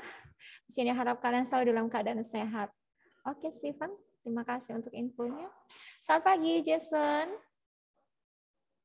Selamat pagi Kristo. Oke, kita akan mengawalinya dengan doa ya anak-anak. Oke, Tania pimpin kita dalam doa. Silakan Tania. Teman-teman, mari kita berdoa. Tuhan Yesus, sekarang kami mau belajar agama Tuhan. Tuhan berkati Miss Diani yang akan mengajar kami. Tuhan tolong agar kami bisa mengerti pelajaran-pelajaran yang materi-materi yang diajarkan Tuhan. Terima kasih Tuhan dalam nama Yesus. Haleluya. Amin. Amin. Terima kasih Tania sudah berdoa untuk Miss Diania, sudah berdoa untuk kita semua. Baik anak-anakku, siapkan buku Agama dan Budi Pakarti. Oke, Miss Yunisa screen terlebih dahulu ya. Ya, apakah sudah terlihat? Tolong beri thumbs up kalau terlihat dengan jelas. Ya, sudah Miss Yuni share. Oke, thank you, Tania. Ya. Baik, anak-anak eh, mengenai ibadah. Ya, kita sudah membahasnya dari pertemuan-pertemuan sebelumnya tentang ibadah orang beriman. Ya, mengenai ibadah eh, kita mereview sedikit ya anak-anak sebelum kita melanjutkan ya. Nah, em, Kalian sudah eh, menelaah Alkitab dari kitab Imamat 16 ayat 1 sampai 34 di mana di situ tertulis secara jelas dan terinci mengenai peraturan tentang tata cara memberikan korban persembahan pendamaian pada hari raya pendamaian. Ya, kalian juga sudah mengetahuinya bagaimana persyaratan korban, bagaimana tata cara mempersembahkannya, kemudian eh, bagaimana persyaratan bagi seorang imam yang menjadi perantara bagi oh, bangs- bangsa Israel yang akan beribadah kepada Tuhan ya. Kemudian eh, makna hari raya dan kurban itu juga sudah kita bahas ya. Baik, em, kita review sedikit mengenai ibadah ya eh, pengertian ibadah dilihat dari eh, perjanjian lama dan perjanjian baru. Ingat kembali dari perjanjian lama menggunakan bahasa Ibrani dan perjanjian baru menggunakan bahasa Yunani. Dari perjanjian lama ada kata avoda dari bahasa Ibrani yang berarti bakti hormat penghormatan. Itu mengenai suatu ibadah.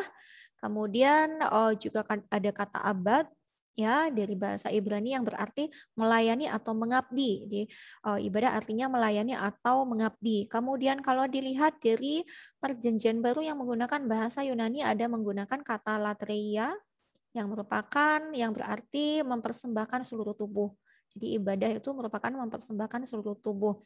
Kemudian ada kata proskunio yang berarti sujud membungkuk tiarap di hadapan tuannya. Itu mengenai ibadah dengan posisi tubuh yang sikap yang sujud membungkuk ya dalam eh, melakukan ibadah. Nah, eh, dari eh, kitab Roma ayat eh, kitab Roma 12 ayatnya yang pertama ya eh, tertulis mengenai ibadah yang sejati.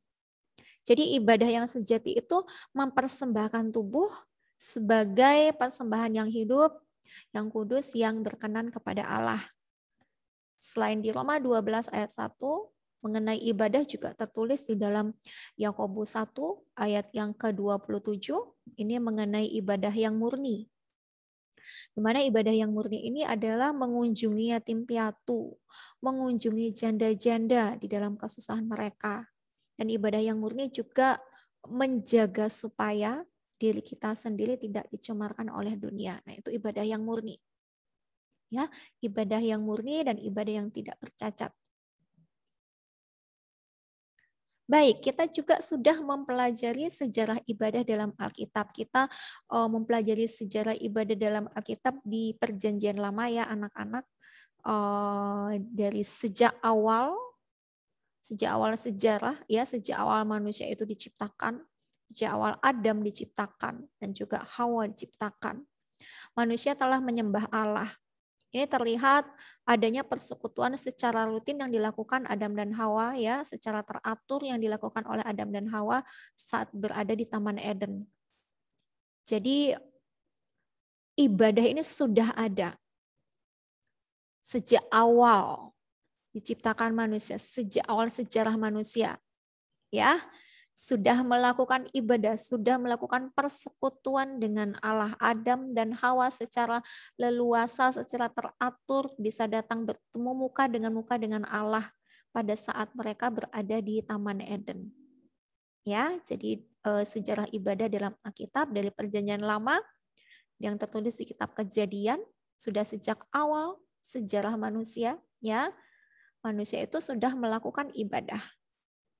Kemudian masih ada tertulis di dalam kitab suci di perjanjian lama. Oke anakku tunggu sebentar.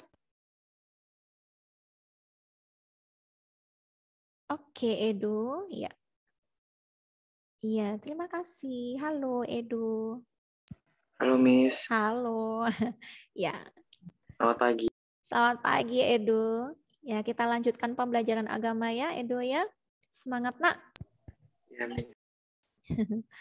Oke, uh, kita lanjutkan ya. Nah, sejarah ibadah uh, di dalam perjanjian lama ya, dalam Alkitab juga tertulis Kain dan Habel yang melakukan ibadah. Mereka memberikan persembahan dari hasil usahanya sendiri. Kain dan Habel beribadah kepada Tuhan memberikan persembahan dari hasil usaha mereka. Kain memberikan persembahan, Habel juga memberikan persembahan. Nah, ini menunjukkan mereka melakukan ibadah kepada Tuhan. Selain Kain dan Habel, tertulis juga di dalam Alkitab. Ya, yaitu Nuh. Nuh beribadah kepada Tuhan. Nuh mendirikan mesbah untuk mengadakan persembahan korban bakaran bagi Allah. Jadi uh, mengenai ibadah yang dilakukan oleh Nuh, dia membangun atau mendirikan mesbah-mesbah. Mesbah ini untuk mengadakan persembahan korban bakaran bagi Allah. Selain Nuh, siapa lagi? Ada Bapak Abraham yang dikenal sebagai Bapak orang beriman ya. Jadi Abraham mendirikan mesbah bagi Tuhan di mana pun ia berkemah. Abraham selalu taat kepada Tuhan. Tidak pernah lupa untuk beribadah kepada Tuhan di mana pun ia berada, ia membangun mesbah bagi Tuhan. Di mana pun ia berkemah, ia membangun mesbah bagi Tuhan. Bahkan sampai di tanah perjanjian, ia membangun mesbah bagi Tuhan untuk beribadah kepada Tuhan.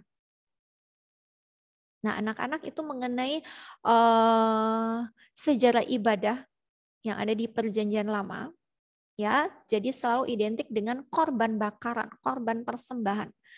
Nah, mengenai ibadah, kita juga sudah mempelajari ya kita review sedikit mempelajari uh, tentang kemah suci ya kemah suci tabernakel ya yang terdiri dari pelataran kemudian ruang kudus kemudian ruang maha kudus ya. Uh, kalian sudah mengetahui untuk masuk ke pelataran masuk melalui pintu ya pintu pelataran ya. Jadi dalam kemah suci ada pelataran bagian pelataran ada pintu pelataran di mana uh, bangsa Israel yang akan uh, beribadah. Mereka datang membawa um, hewan yang akan dikorbankan masuk melalui pintu pelataran dan mereka um, hanya boleh berada di dalam pelataran saja bersama dengan hewan yang mereka bawa yang akan dikorbankan nanti sebagai korban penebus dosa. Jadi ingat kembali ada bagian pelataran tabernakel. Di dalam pelataran tabernakel itu ingat ada apa saja, ada bejana pembasuhan, kemudian ada apa lagi? Ada mesbah korban bakaran. Oke, selanjutnya uh, ada ruang maha kudus ya. Nah ruang maha kudus ini hanya boleh dimas uh, hanya imam yang boleh masuk ke ruang maha kudus melalui pintu ruang kudus yaitu melalui tirai ya yang menutupi ruang kudus tersebut. Kemudian uh, yang ada di dalam ruang kudus adalah meja roti sajian. Selain itu ada kandil atau pelita atau disebut juga kaki dian untuk menerangi ya digunakan sebagai alat penerang bagi oh, tabernakel. Kemudian di ruang kudus ada mesbah pembakaran ukupan ya. Nah, setelah ruang kudus ada ruang maha kudus ya. Ruang kudus dan ruang maha kudus dipisahkan oleh suatu pintu ruang maha kudus yaitu suatu tirai ya. Ya. Jadi di Oh, di dalam ruang Maha Kudus ini terdapat tabut hukum Tuhan. yang berisikan dua loh batu, di mana dua loh batu ini eh, berisikan 10 perintah Allah.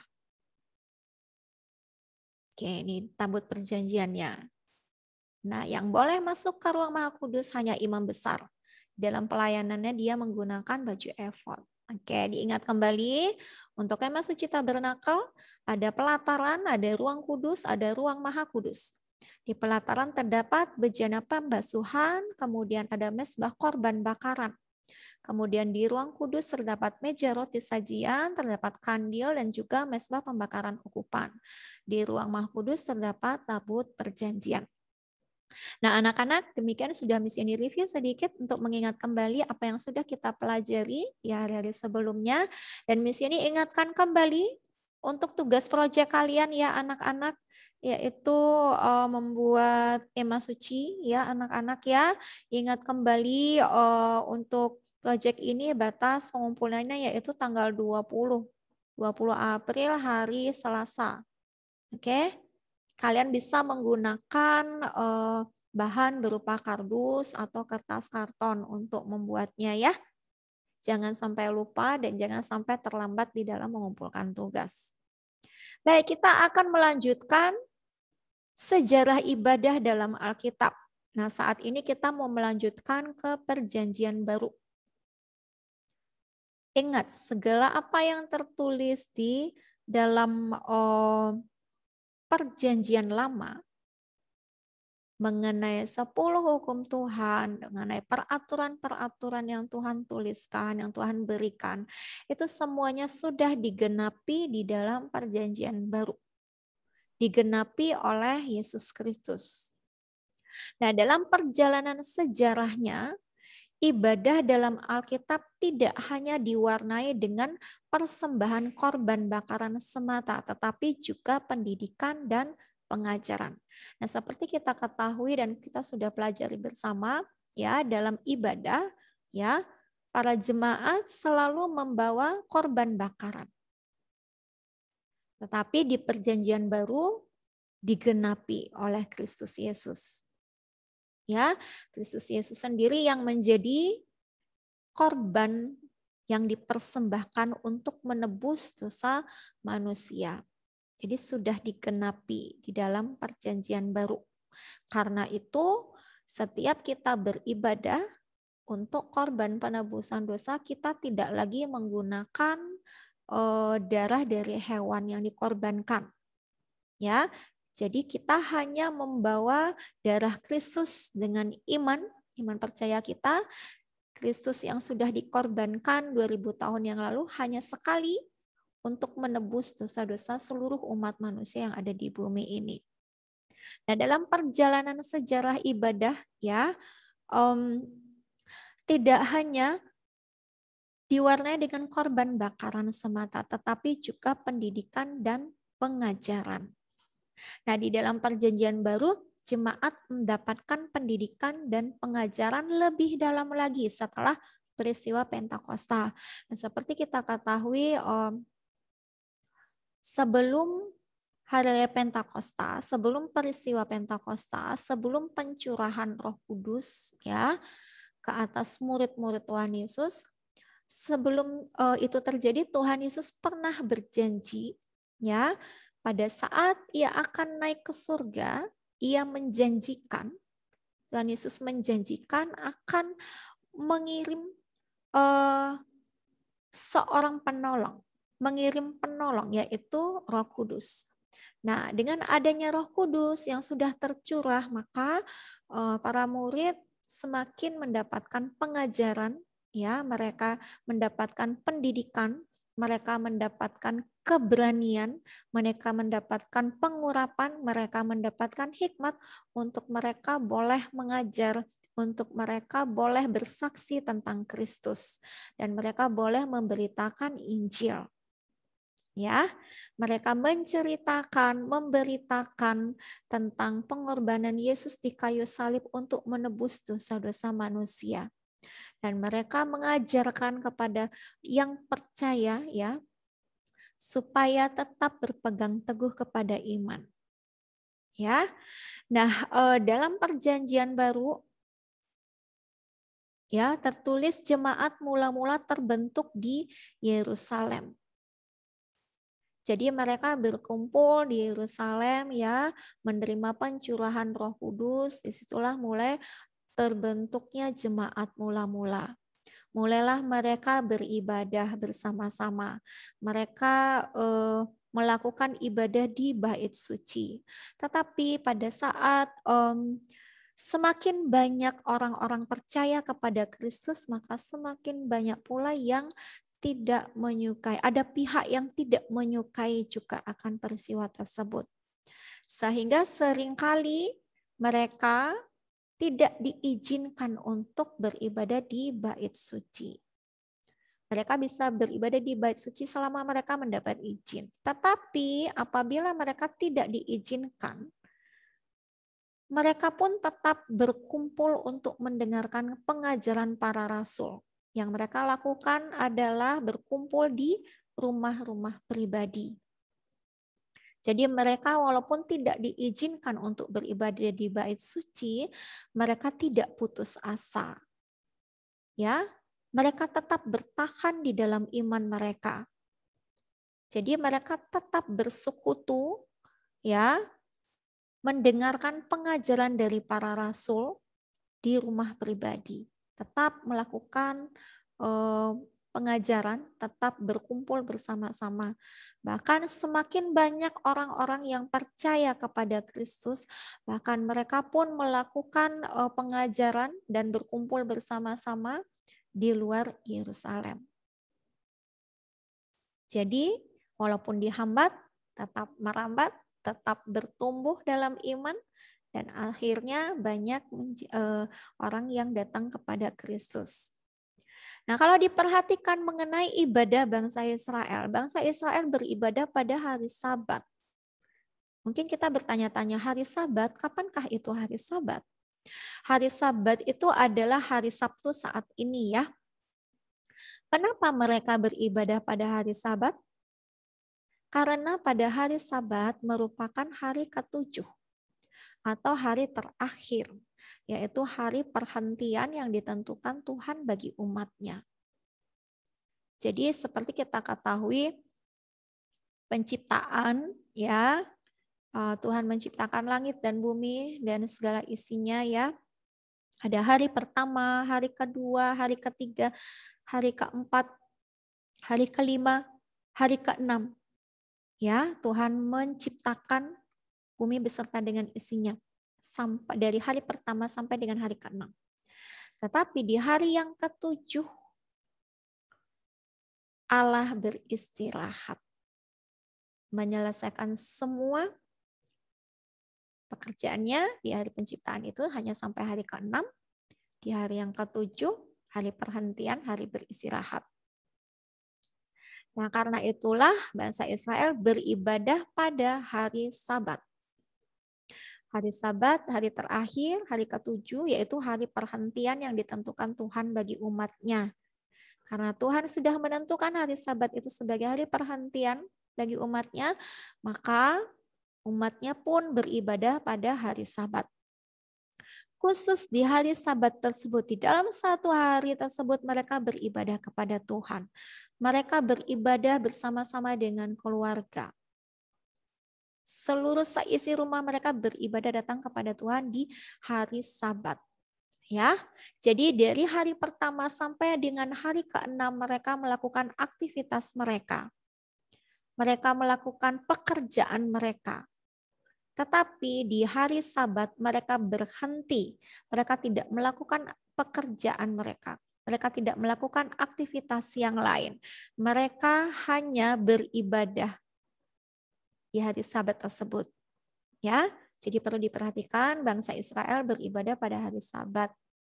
Karena hari Sabat itu merupakan hari perhentian yang ditentukan Tuhan bagi umatnya. Nah, itu mengenai sejarah ibadah ya dalam Alkitab ada di Perjanjian Baru. Nah, kemudian eh, gereja mula-mula ya itu sebetulnya sudah terbentuk jemaat mula-mula ya pada saat di Yerusalem ya setelah pencurahan Roh Kudus. Semakin bertanya tambah banyak, semakin bertambah banyak pengikut Kristus, maka terbentuklah suatu gereja. Jadi sebetulnya pengikut Kristus atau orang-orang yang percaya kepada Kristus itu disebut orang Kristen pada saat berada di Antioquia. Itu awal pengikut Kristus disebut Kristen saat di Antioquia ya. Jadi mulailah terbentuk gereja. Sebetulnya gereja itu adalah uh, gereja yang sesungguhnya itu adalah orang percaya kepada Tuhan, orang percaya kepada Kristus dan hidup mentaati firman Tuhan. Jadi uh, Mesiani yang adalah orang percaya kepada Kristus, Mesiani disebut gereja. Kalian yang percaya kepada Kristus, ya disebut gereja. Jadi sebetulnya gereja itu pribadi kita sendiri ini disebut gereja.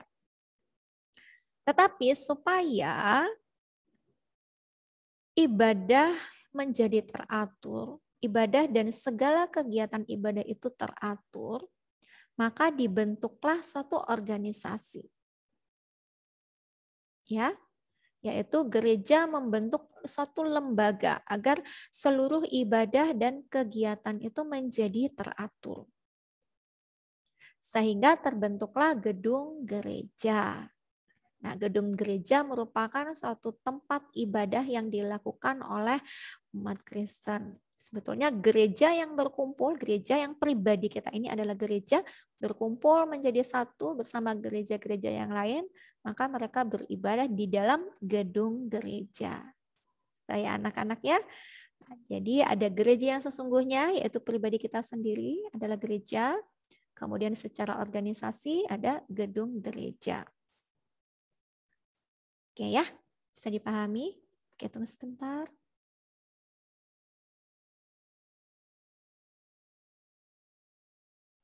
Oh, luar biasa pertanyaannya Adel. Oke, Miss ini baca di kolom chat ya. Adel bertanya, Miss, Adel mau tanya, tapi kenapa sekarang kita beribadah pada hari Minggu, Miss? Pertanyaan yang bagus.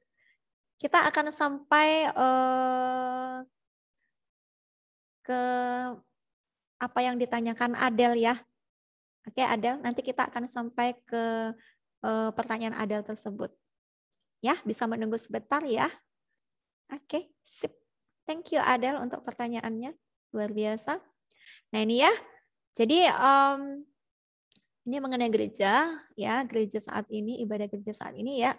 Selanjutnya, nah uh, ibadah di gereja masa kini dikembangkan dengan tata ibadah atau liturgi khusus sesuai kebutuhan ibadah yang akan dilakukan.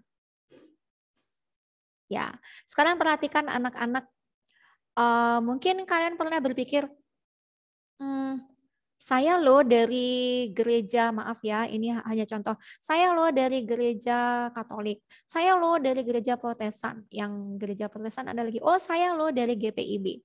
Saya loh dari Om GPI, itu misalkan. Saya loh dari GBI. Nah, itu merupakan denominasi gereja. Tetapi sebetulnya uh, denominasi gereja itu merupakan suatu wadah untuk gereja yaitu kita sendiri para gereja berkumpul beribadah. Ya. Jadi jangan sampai perbedaan dari denominasi itu akan membatasi kita beribadah. Enggak ah dia lain sama saya. Tidak ya, sama anak-anak hanya hanya saja uh, denominasinya tata cara ibadahnya yang bervariasi, denominasinya yang berbeda. Ya, ibadahnya tetap dilaksanakan pada hari Minggu bukan? Setiap gereja ibadahnya pasti hari Minggu kan ya? Jadi ibadah tetap dilaksanakan pada hari Minggu seperti pada gereja mula-mula, hanya saja tata ibadah yang bervariasi ya.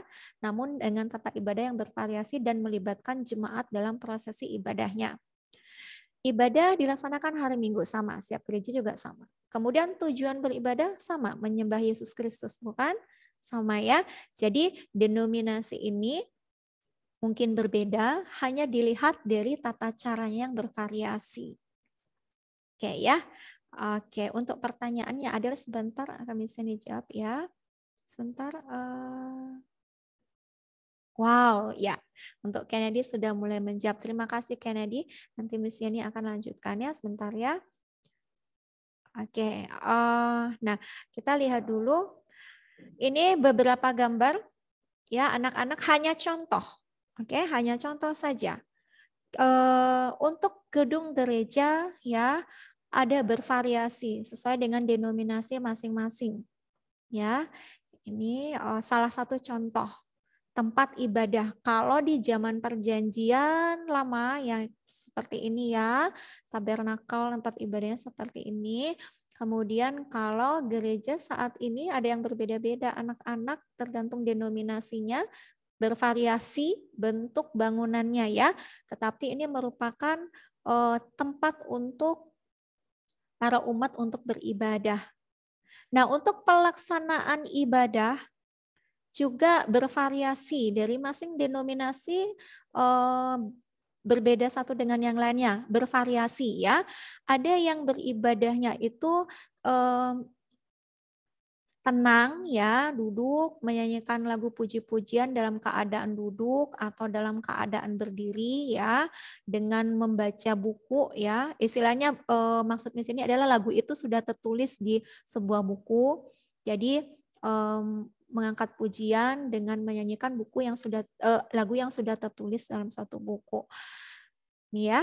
Kemudian Nah, ini ada juga yang uh, beribadah dengan menggunakan liturgi yang sudah tertulis. Ada tata caranya yang sudah urutan-urutan ibadahnya itu sudah tertulis dalam suatu buku atau dalam dicetak dalam selembar kertas. Ya, nah misalnya tunjukkan terlebih dahulu ya untuk uh, contoh. Ini hanya contoh saja anak-anak. Oke, sebentar ya. Contoh dari liturgi Nah, ini hanya contoh ya anak-anak ya. Salah satu contoh. Mungkin ada yang sama ya. Nah, ini tata ibadah. Ini hanya contoh saja tata ibadah kebaktian Persekutuan Pemuda Gereja Toraja. Nah, ini uh, pelaksanaan Jumat 2 September 2011. Nah, untuk tata ibadah atau liturginya ini ada yang tertulis. Jadi ditulis dari awal sampai terakhir untuk tata ibadahnya.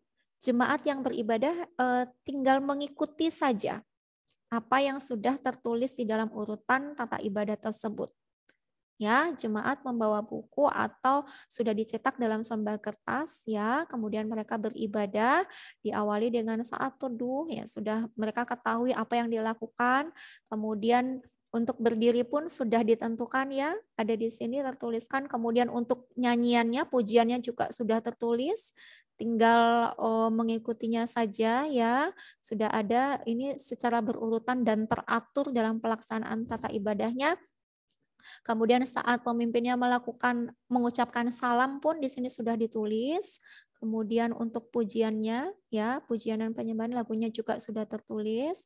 Kemudian pada saat mereka duduk di sini sudah dituliskan. Jadi secara serempak jemaat yang beribadah duduk setelah selesai menyanyikan lagu bersuka dalam Tuhan. Kemudian uh, sambil duduk mereka juga di sini sudah tertulis lagu yang akan dinyanyikan. Setelah itu ada pelayanan firman dan sudah ditulis sini doa pembacaan Alkitab. Jadi sudah berurutan ya. Kemudian ada pembacaan Alkitab dan khotbah yang disampaikan oleh Bapak Pendeta. Itu urutannya. Nah, uh, mengenai Oke, mengenai ibadah ya yang menggunakan liturgi ya, liturgi yang tertulis. Ada juga nah ini salah satu contoh juga anak-anak bervariasi untuk tata cara ibadahnya. Ada yang melakukan uh, menaikkan pujian penyembahan dengan penuh ekspresi ya. Jadi dengan mengangkat tangan, dengan uh, bersorak-sorai, dengan bertepuk tangan gitu ya. Tetapi sebetulnya yang dilakukan adalah tujuannya sama ya untuk datang menyembah Kristus. Hanya tata caranya yang bervariasi. Nah, uh, kita lihat dulu salah satu contoh ibadah. Ya, ini hanya salah satu contoh saja ya anak-anak ya. Salah satu contoh, jadi Miss Yani oh, ambil contoh dari oh, Rock Ministry. Jadi kita lihat urutan tata ibadahnya. Kalau yang tadi menggunakan liturgi yang sudah tertulis, kita lihat untuk yang tata ibadah berikut ini.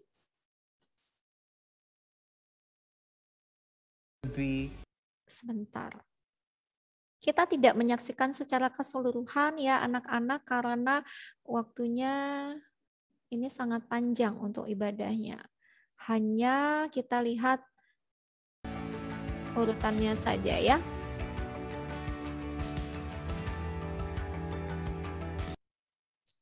Sebentar, uh, kita lihat urutannya dulu. Oke, ini ibadah pada saat Jum ibadah pada saat Jumat Agung ya. Sebentar ya.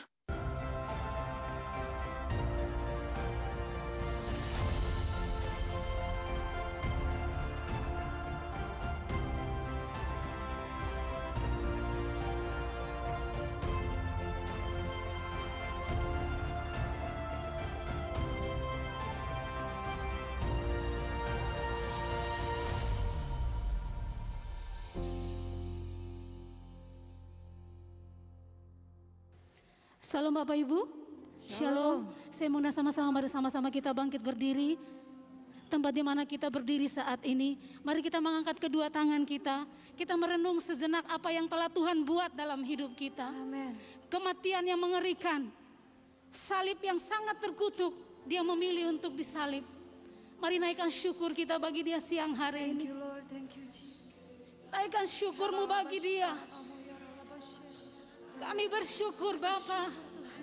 Kami berdiri di tempat ini. Kami mengangkat kedua tangan kami. Hati kami melimpah dengan ucapan syukur Bapa. Terima kasih untuk apa yang kau buat dalam hidup kami. Terima kasih Tuhan.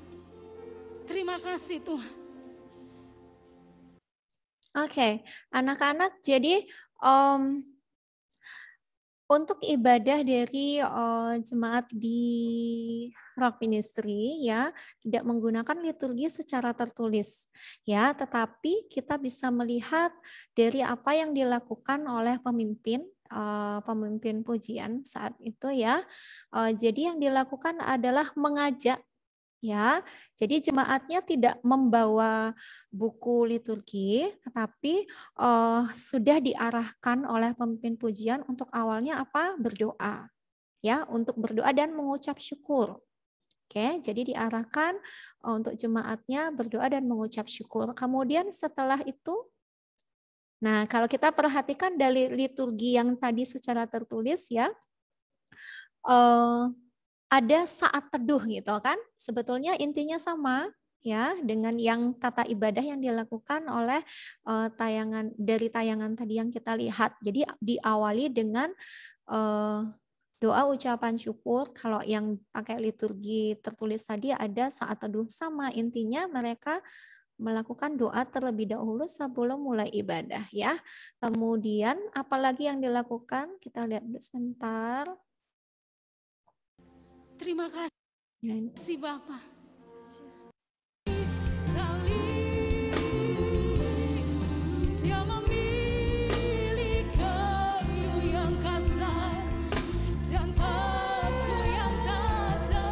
Oke, setelah itu yang dilakukan adalah uh, para pemimpin, uh, pemimpin pujian mengajak jemaat untuk menyembah dan memuji Tuhan.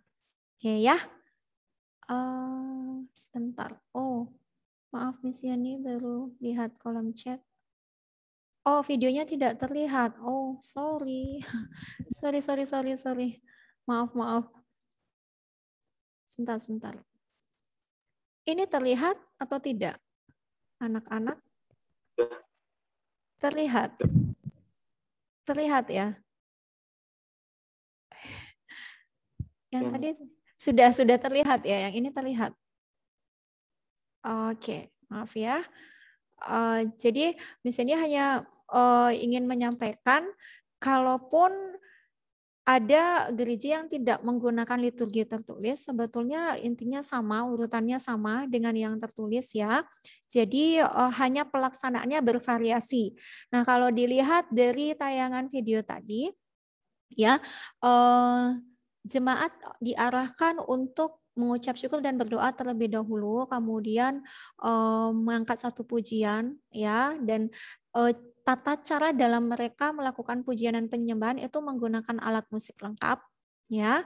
Kemudian eh, dengan mengangkat tangan, ekspresinya dengan mengangkat tangan, kemudian nantinya ada bertepuk tangan kalau lagu yang puji-pujian ya bertepuk tangan. Nah, kalau yang dari foto yang misalnya perlihatkan tadi,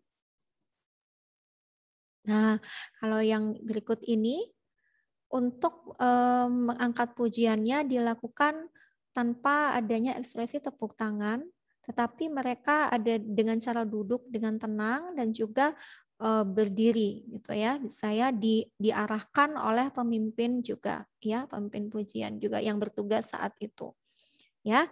Jadi uh, nah ini yang dengan ekspresi angkat tangan. Jadi tata ibadah atau liturginya itu bervariasi. Anak-anak ya bervariasi tergantung dari denominasi. Nah, sebetulnya makna ibadah Kristen kita tidak tidak melihat oh ini loh lain, ini yang benar, ini loh lain, tidak seperti itu. Tapi sebetulnya dilihat dari makna ibadah Kristen, ibadah itu merupakan persekutuan Allah dengan manusia untuk merayakan kemenangan Kristus yang telah menyelamatkan manusia dari hukuman kekal. Itu inti dari ibadah. Ya, jadi walaupun de, e, berbagai macam denominasi, walaupun memiliki liturgi yang bervariasi, ya, tetapi e, ibadah yang kita lakukan ini, ya, merupakan persekutuan Allah dengan kita untuk merayakan kemenangan Kristus yang telah menyelamatkan kita dari hukuman yang kekal. Jadi sebetulnya ibadah itu, ya, e, Tuhan berkehendak supaya uh, manusia itu tetap tidak selalu berada dalam dosa. Tuhan rindu untuk manusia itu ber, bersekutu dengan dengan Tuhan. Ya. Tuhan sangat rindu supaya manusia itu bersekutu dengan Tuhan. Karena itulah diberikan Yesus Kristus untuk menebus dosa dan kesalahan kita supaya kita bisa beribadah, kita bisa bersekutu kepada Tuhan. Nah, kalau dilihat anak-anak uh, sebentar. Kalau dilihat dari liturgi yang tertulis, di situ ada setelah puji-pujian ada pelayanan firman, benar ya? Liturgi yang tertulis.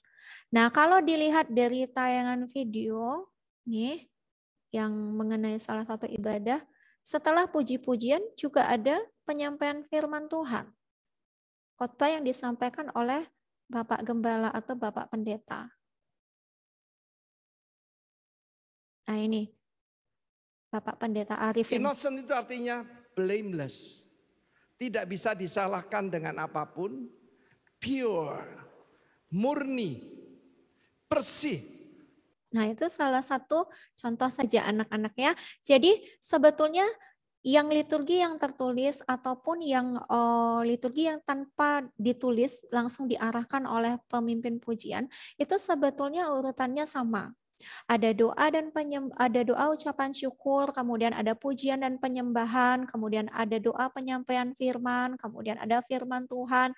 Setelah itu ada doa syafaat, kemudian ada uh, doa berkat ya, ya doa penutup. Setelah itu jemaatnya bisa pulang. Jadi sebetulnya urutannya sama.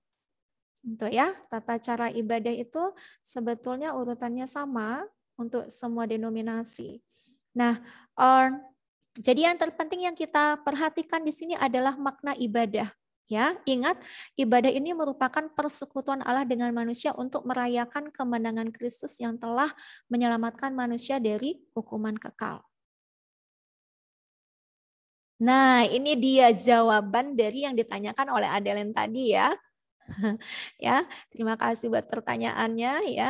Uh, tapi sebelum misi ini bacakan, ini sebetulnya teman kalian ada siapa? Kennedy. Kennedy sudah menjawab di kolom chat.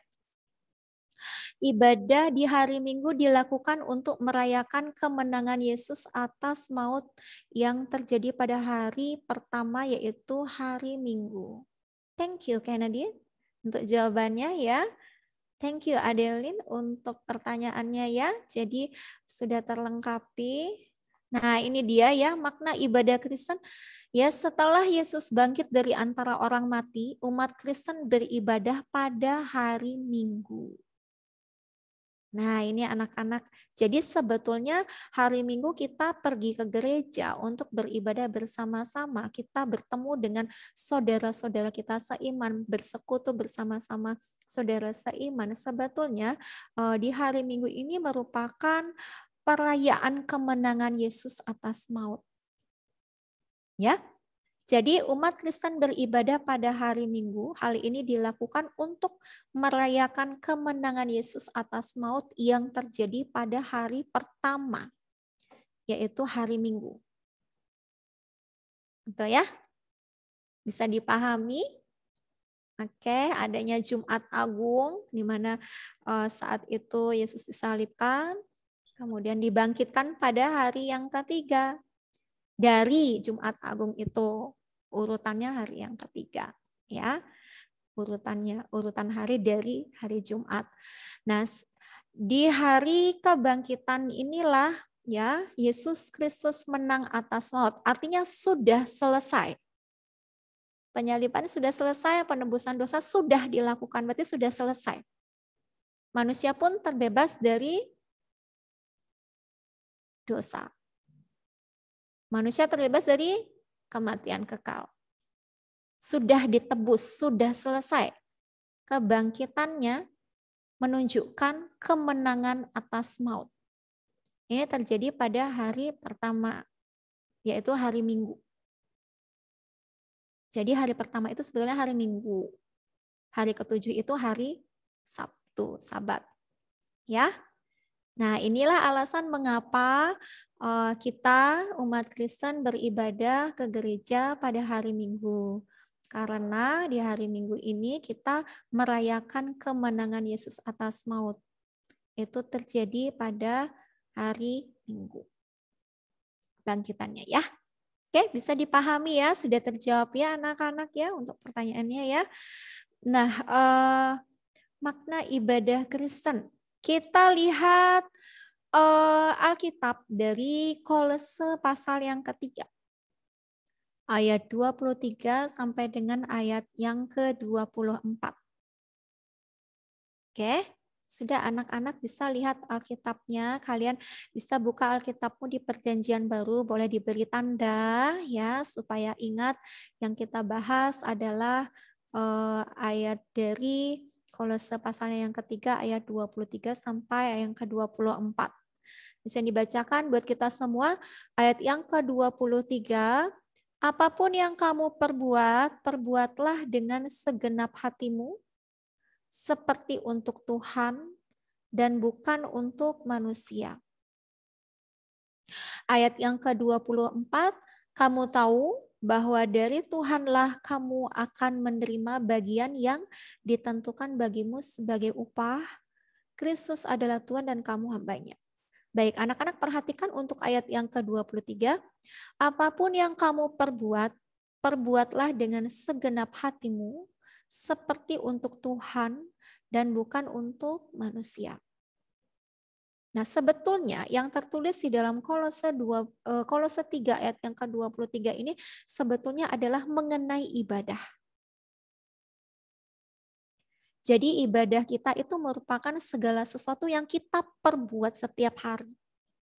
Jadi eh, firman Tuhan mengingatkan kita supaya perbuatlah dengan segenap hati. Apa yang kita perbuat, perbuatlah dengan segenap hati. Seperti untuk Tuhan. Artinya kita setiap hari apa yang kita lakukan, apa yang kita katakan, apa yang kita pikirkan sebenarnya kita sedang beribadah kepada Tuhan. Ya, karena itu jauhkanlah segala perbuatan yang tidak berkenan di hadapan Tuhan. Jauhkanlah segala perkataan yang tidak berkenan. Jauhkanlah segala pikiran yang tidak berkenan di hadapan Tuhan. Karena kita setiap harinya sedang beribadah. Marilah arahkan pemikiran kita kepada hal-hal yang berkenan di hadapan Tuhan. Marilah kita arahkan perkataan kita kepada hal-hal yang berkenan di hadapan Tuhan. Marilah kita lakukan perbuatan kita ini ke dalam hal-hal yang berkenan di hadapan Tuhan. Nah, ini adalah ibadah kita. Ya, misi ini sedang mengingatkan diri sendiri. Juga ya, kalian juga sedang mengingat-ingat akan firman Tuhan ini sudah mengingatkan kita. Ya, nah makna dari um, Kolose 3 ayat 23 sampai 24 ini mengenai ibadah. Jadi ibadah adalah seluruh aktivitas dan kegiatan kita sehari-hari menyangkut totalitas hidup kita. Ya, jadi ibadah itu bukan hal fisik atau lahiriah belaka. Melainkan ibadah itu juga dari sikap hati kita kepada Tuhan. Menyangkut motivasi. Apa sih motivasi kita datang kepada Tuhan? Supaya dapat uang yang banyak. Ya, motivasinya cinta Tuhan dulu anak-anak ya. Sama-sama ya cinta Tuhan nanti semuanya akan ditambahkan. Jadi apa sih tujuan hidup kita, konsentrasi kita dan hati kita kepada Tuhan. Jadi ibadah bukan hanya setiap hari Minggu saja ke gereja, ibadah bukan hanya um, setiap pagi morning devotion itu saja, tetapi ibadah juga apa yang kita lakukan dalam keseharian kita. Ya, jadi ibadah kita itu lengkap dari apa yang kita lakukan dalam kehidupan sehari-hari dan juga secara fisik, secara lahiriah dalam morning devotion dan juga uh, dalam pada hari Minggu dan juga ibadah bersama keluarga di rumah. Itu ya anak-anak. Oke, tunggu sebentar. Oke, silahkan Gilang. Ya, jadi uh, untuk apa yang sudah ditanyakan Adelin tadi ya, kenapa sekarang kita beribadah pada hari Minggu ya, untuk uh, pertanyaan tersebut juga sudah dijawab sama Kennedy dan juga sudah terjawab dari penjelasan Miss ya nak ya. Jadi ibadah hari Minggu dilakukan untuk merayakan kemenangan uh, Yesus atas maut. Itu terjadinya pada hari pertama yaitu hari Minggu. Oke ya, sudah ya Adelin? Nakku, sudah nak? Jelas ya? Jelas, sudah. Miss. Thank you. Adeline sudah terjawab pertanyaanmu ya nak ya? Oke, okay, um, anak-anak apakah ada pertanyaan? Oke, okay, thank you Adeline. Uh, beri reaction thumbs up kalau sudah jelas. Halo, sudah jelas nak? Beri reaction thumbs up kalau sudah jelas. Iya, terima kasih. Oke. Iya, oke Adeline, terima kasih. Ya, Elda, Jason, Angel, terima kasih ya. Oke ya anak-anak, kita sudah menyelesaikan untuk uh, ibadah orang beriman, sejarah ibadah dari perjanjian lama sampai perjanjian baru sampai pada akhirnya um, ibadah Kristen ya, nak ya. Udah ada beberapa contoh tadi. Kembali lagi kita ingat, kita tidak bergantung dari oh, tata cara yang masing-masing denominasi. Jangan sampai tata cara itu memecah belah kita sebagai orang Kristen.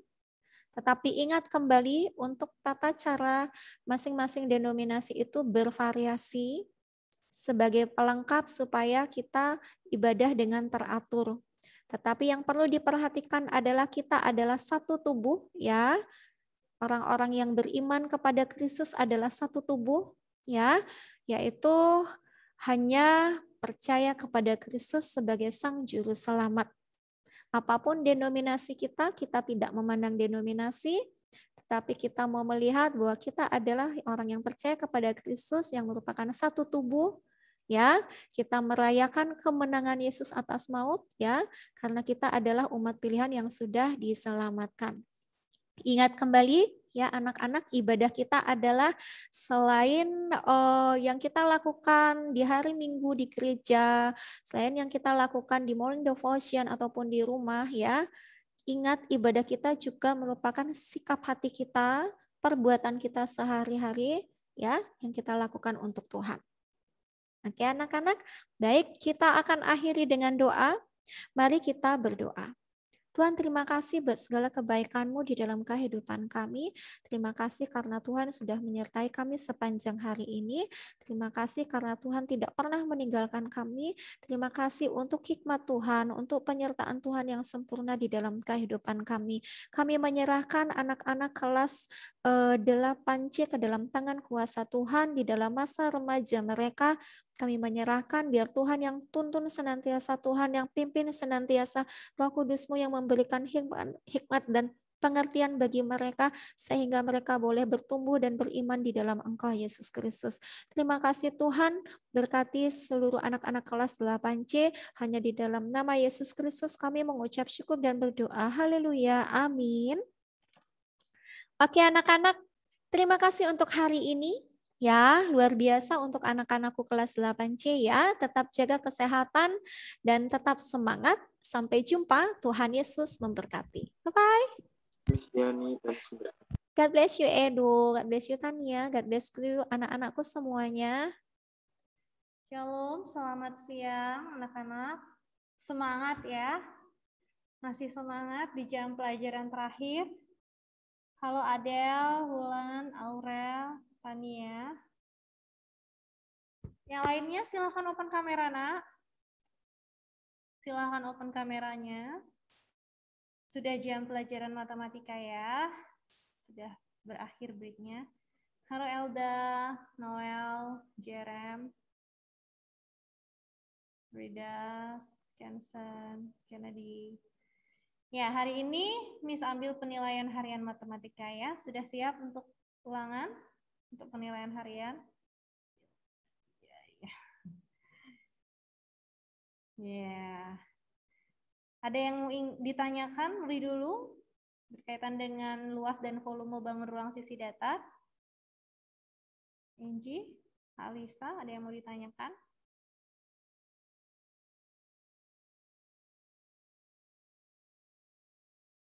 Halo Sevilla.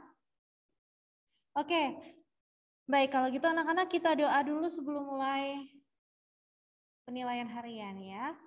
Boleh Miss minta Tania pimpin kita dalam doa Tania.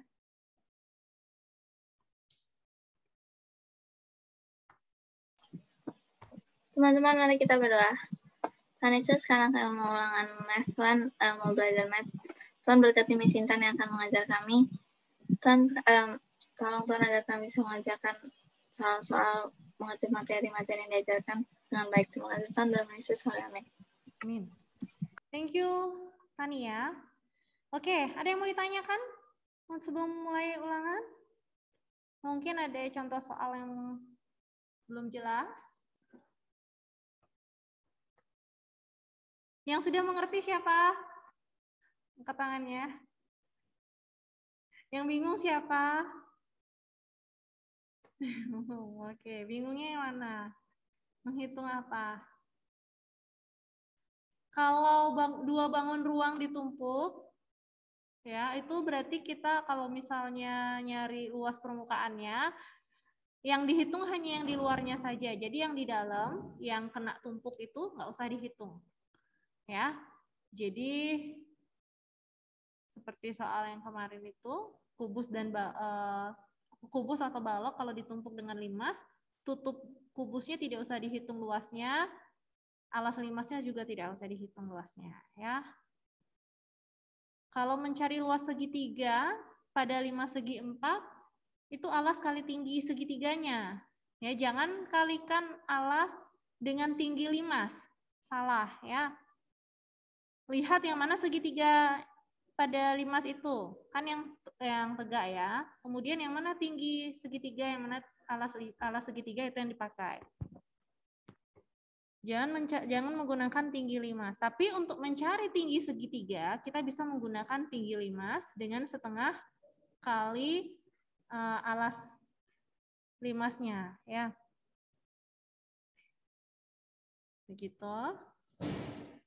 Ada lagi Ya, untuk ulangan kali ini, kalian harus kerjakan dengan jujur sendiri, tidak boleh tanya teman, tidak boleh kirim jawaban ke teman. Ya, tapi Miss kasih kalian lihat buku, catatan, ataupun PowerPoint yang sudah Miss sampaikan. Ya, Silahkan lihat buku, lihat rumus-rumusnya lagi, cara penyelesaiannya silahkan. Ya, tapi tidak boleh tolong dijaga kejujurannya, mengukur diri sendiri, tidak boleh tanya teman apalagi memberikan jawaban kepada teman.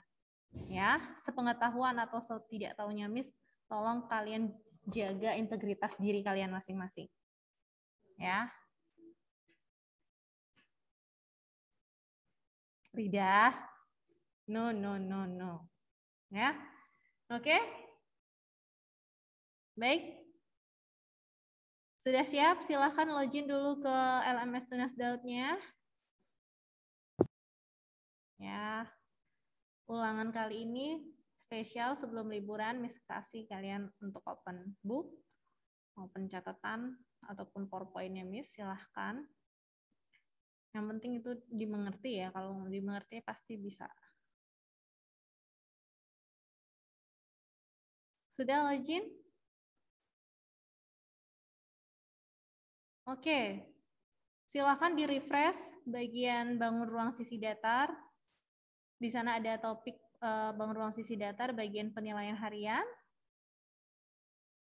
Semua wajib open kamera ketika mengerjakan penilaian harian ya. Silahkan open kameranya Alexis, Siala, Alicia, Gaby, Steven, Gilang, dan yang lainnya yang belum open. Silahkan open kamera. Di refresh dulu. Alexis silahkan di refresh.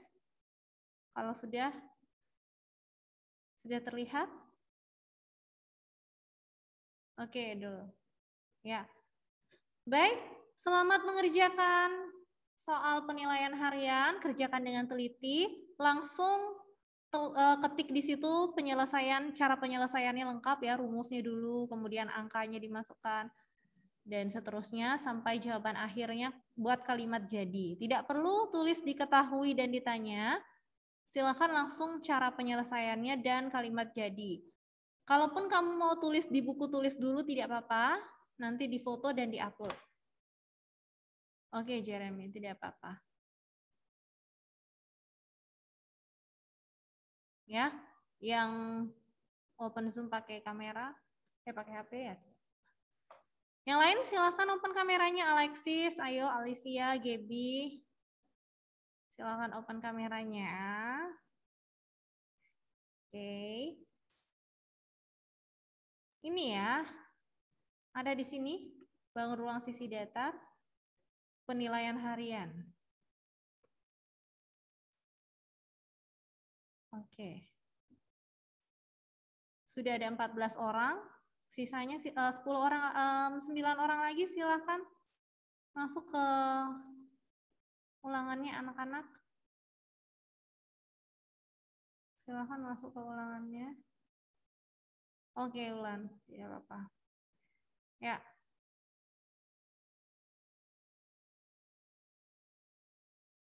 cara ngetik akar pangkat di sana insert. Boleh ketik di Word dulu, pakai equation, lalu nanti di copy ke kolom yang ada di LMS Tenasdal.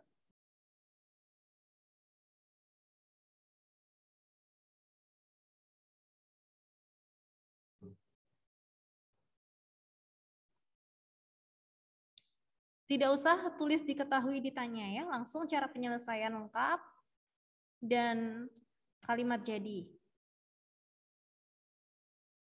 Waktunya 45 menit anak-anak. Berarti sampai jam 12.25 ya, sampai jam 12.25. Waktunya 45 menit ya Alexis, tidak usah pakai filter. Polos saja ya Alexis. Oke anak-anak, selamat mengerjakan soal penilaian harian. Semangat, kerjakan sendiri ya. Tapi silahkan lihat buku, tidak boleh tanya teman, tidak boleh kirim jawaban ke teman ya. Semangat, God bless you. Nah, perhatian, ingat tulis satuan luas dan volumenya ya. Karena itu mempengaruhi poin penilaian juga. Latihan semua anak-anak. Nanti misalnya ketemu eh, angka yang tidak bisa diakarkan dalam bentuk bilangan bulat, artinya kamu tidak bisa mencari bilangan bulat hasil akar tersebut, biarkan saja dia dalam bentuk akar, ya. Biarkan saja hasilnya dalam bentuk akar, tidak masalah, ya. Ya. Ya, anak-anak, perhatikan soalnya baik-baik, apa yang diketahui dari gambar, lalu apa yang ditanya di soal. Ya, gunakanlah angka yang tepat. Atau kalau belum ada informasi yang diperlukan, cari dulu itu. Baru hitung ya. Waktunya banyak, tolong manfaatkan dengan baik ya. Ya, waktunya sudah habis ya, sudah kasih tambahan lagi 5 menit. Sekarang silahkan di-upload selesai tidak selesai. Silahkan dikirim jawabannya ke LMS Tunas Daud ya. Oke, anak-anak perhatian semuanya ada informasi yang uh, kembali harus Miss sampaikan ke kalian. Silakan open kameranya anak-anak. Ayo semuanya. Silakan open kamera semua.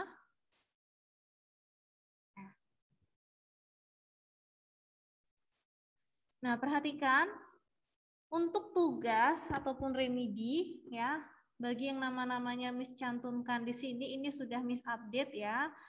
Jadi masih ada tugas tambahan untuk Darren dan Gilang untuk yang bab 1 silahkan dikerjakan. Di sini udah ada deskripsi tugasnya ya. Itu dikumpulkan di email. Kemudian untuk tugas project bab 1, remedi bab 2, project bab 2 dan project bab 3 di sini tertera namanya yang belum-belum yang belum mengumpulkan sampai saat ini silahkan lihat keterangannya di LMS Tunas Daud, Miss buka kembali Pengumpulannya sampai uh, tanggal 16 April paling lambat ya, Jumat depan 16 April jam 1 siang. Jadi bukan 8 April lagi, Miss perpanjang kembali ini ya, tapi ini terakhir ya. Kalau tidak juga ya terpaksa Miss menuliskan nol di rapot. Ya, jadi tolong kalau mau naik kelas, kerjakan tugasnya. Jika ada kesulitan atau bingung, silahkan tanya Miss ya. Silahkan uh, hubungi Miss Intan secara personal ya via WhatsApp silahkan. Pasti Miss akan membimbing kalian ya. Silahkan ini Gebi Gilang Elda ya. Di sini yang Gilang banyak sekali tugasnya Gilang yang masih belum. Ini semua di kolom ini ada namamu Gilang. Ayo kerjakan tugasnya ya Gilang. Kalau ada kesulitan silahkan hubungi Miss Intan Ya, untuk remedi bab 2 itu juga Miss buka kembali aksesnya masih kurang nilainya silahkan di usaha uh, dikerjakan kembali ya. Kalau bingung silahkan tanya Miss Intan ya. Nanti file update-nya itu Miss akan kirim ke Jeremy supaya Jeremy forward ke grup kelas ya. Oke. Oh ya, oke mungkin yang ini belum ada ya. Oke Gilang. Ya. Ya, sorry. Berarti untuk yang remedi udah ya Gilang ya. Nah, tugas proyeknya ya anak-anak. Yang belum, silahkan itu dikerjakan. Ya. Jika ada kesulitan, hubungi Miss Intan ya. Untuk pelajaran matematikanya, untuk bab 3 sudah cukup sampai di sini ya anak-anak. Untuk penilaian terakhir, tugas proyek untuk KI 4 juga sudah. Ya, jadi untuk selanjutnya kegiatan kita adalah kita akan masuk bab baru yaitu bab statistika hari Senin depan uh, tanggal 19 ya itu ya. Tanggal 16 ya, tanggal 19 April kita akan masuk ke bab baru yaitu statistika. Untuk liburan kali ini bagi yang sudah mengumpulkan dan mengerjakan tugas-tugas tepat waktu dan sudah disiplin, terima kasih. Kalian silahkan bebas liburan tanpa PR matematika. Untuk yang belum ya masih tertunggak tugas-tugasnya baik remedi maupun tugas proyek ataupun tugas tambahan, silahkan lengkapi ya kerjakan tugasnya dengan baik dan kumpulkan sebelum deadline ya, sebelum paling lambat sekali hari Jumat jam 1 siang harus sudah selesai. Itu tugas-tugasnya harus sudah dikumpulkan ya. Oke, demikian informasi yang disampaikan untuk diperhatikan dan dilaksanakan dengan baik ya. Ada pertanyaan? Silahkan.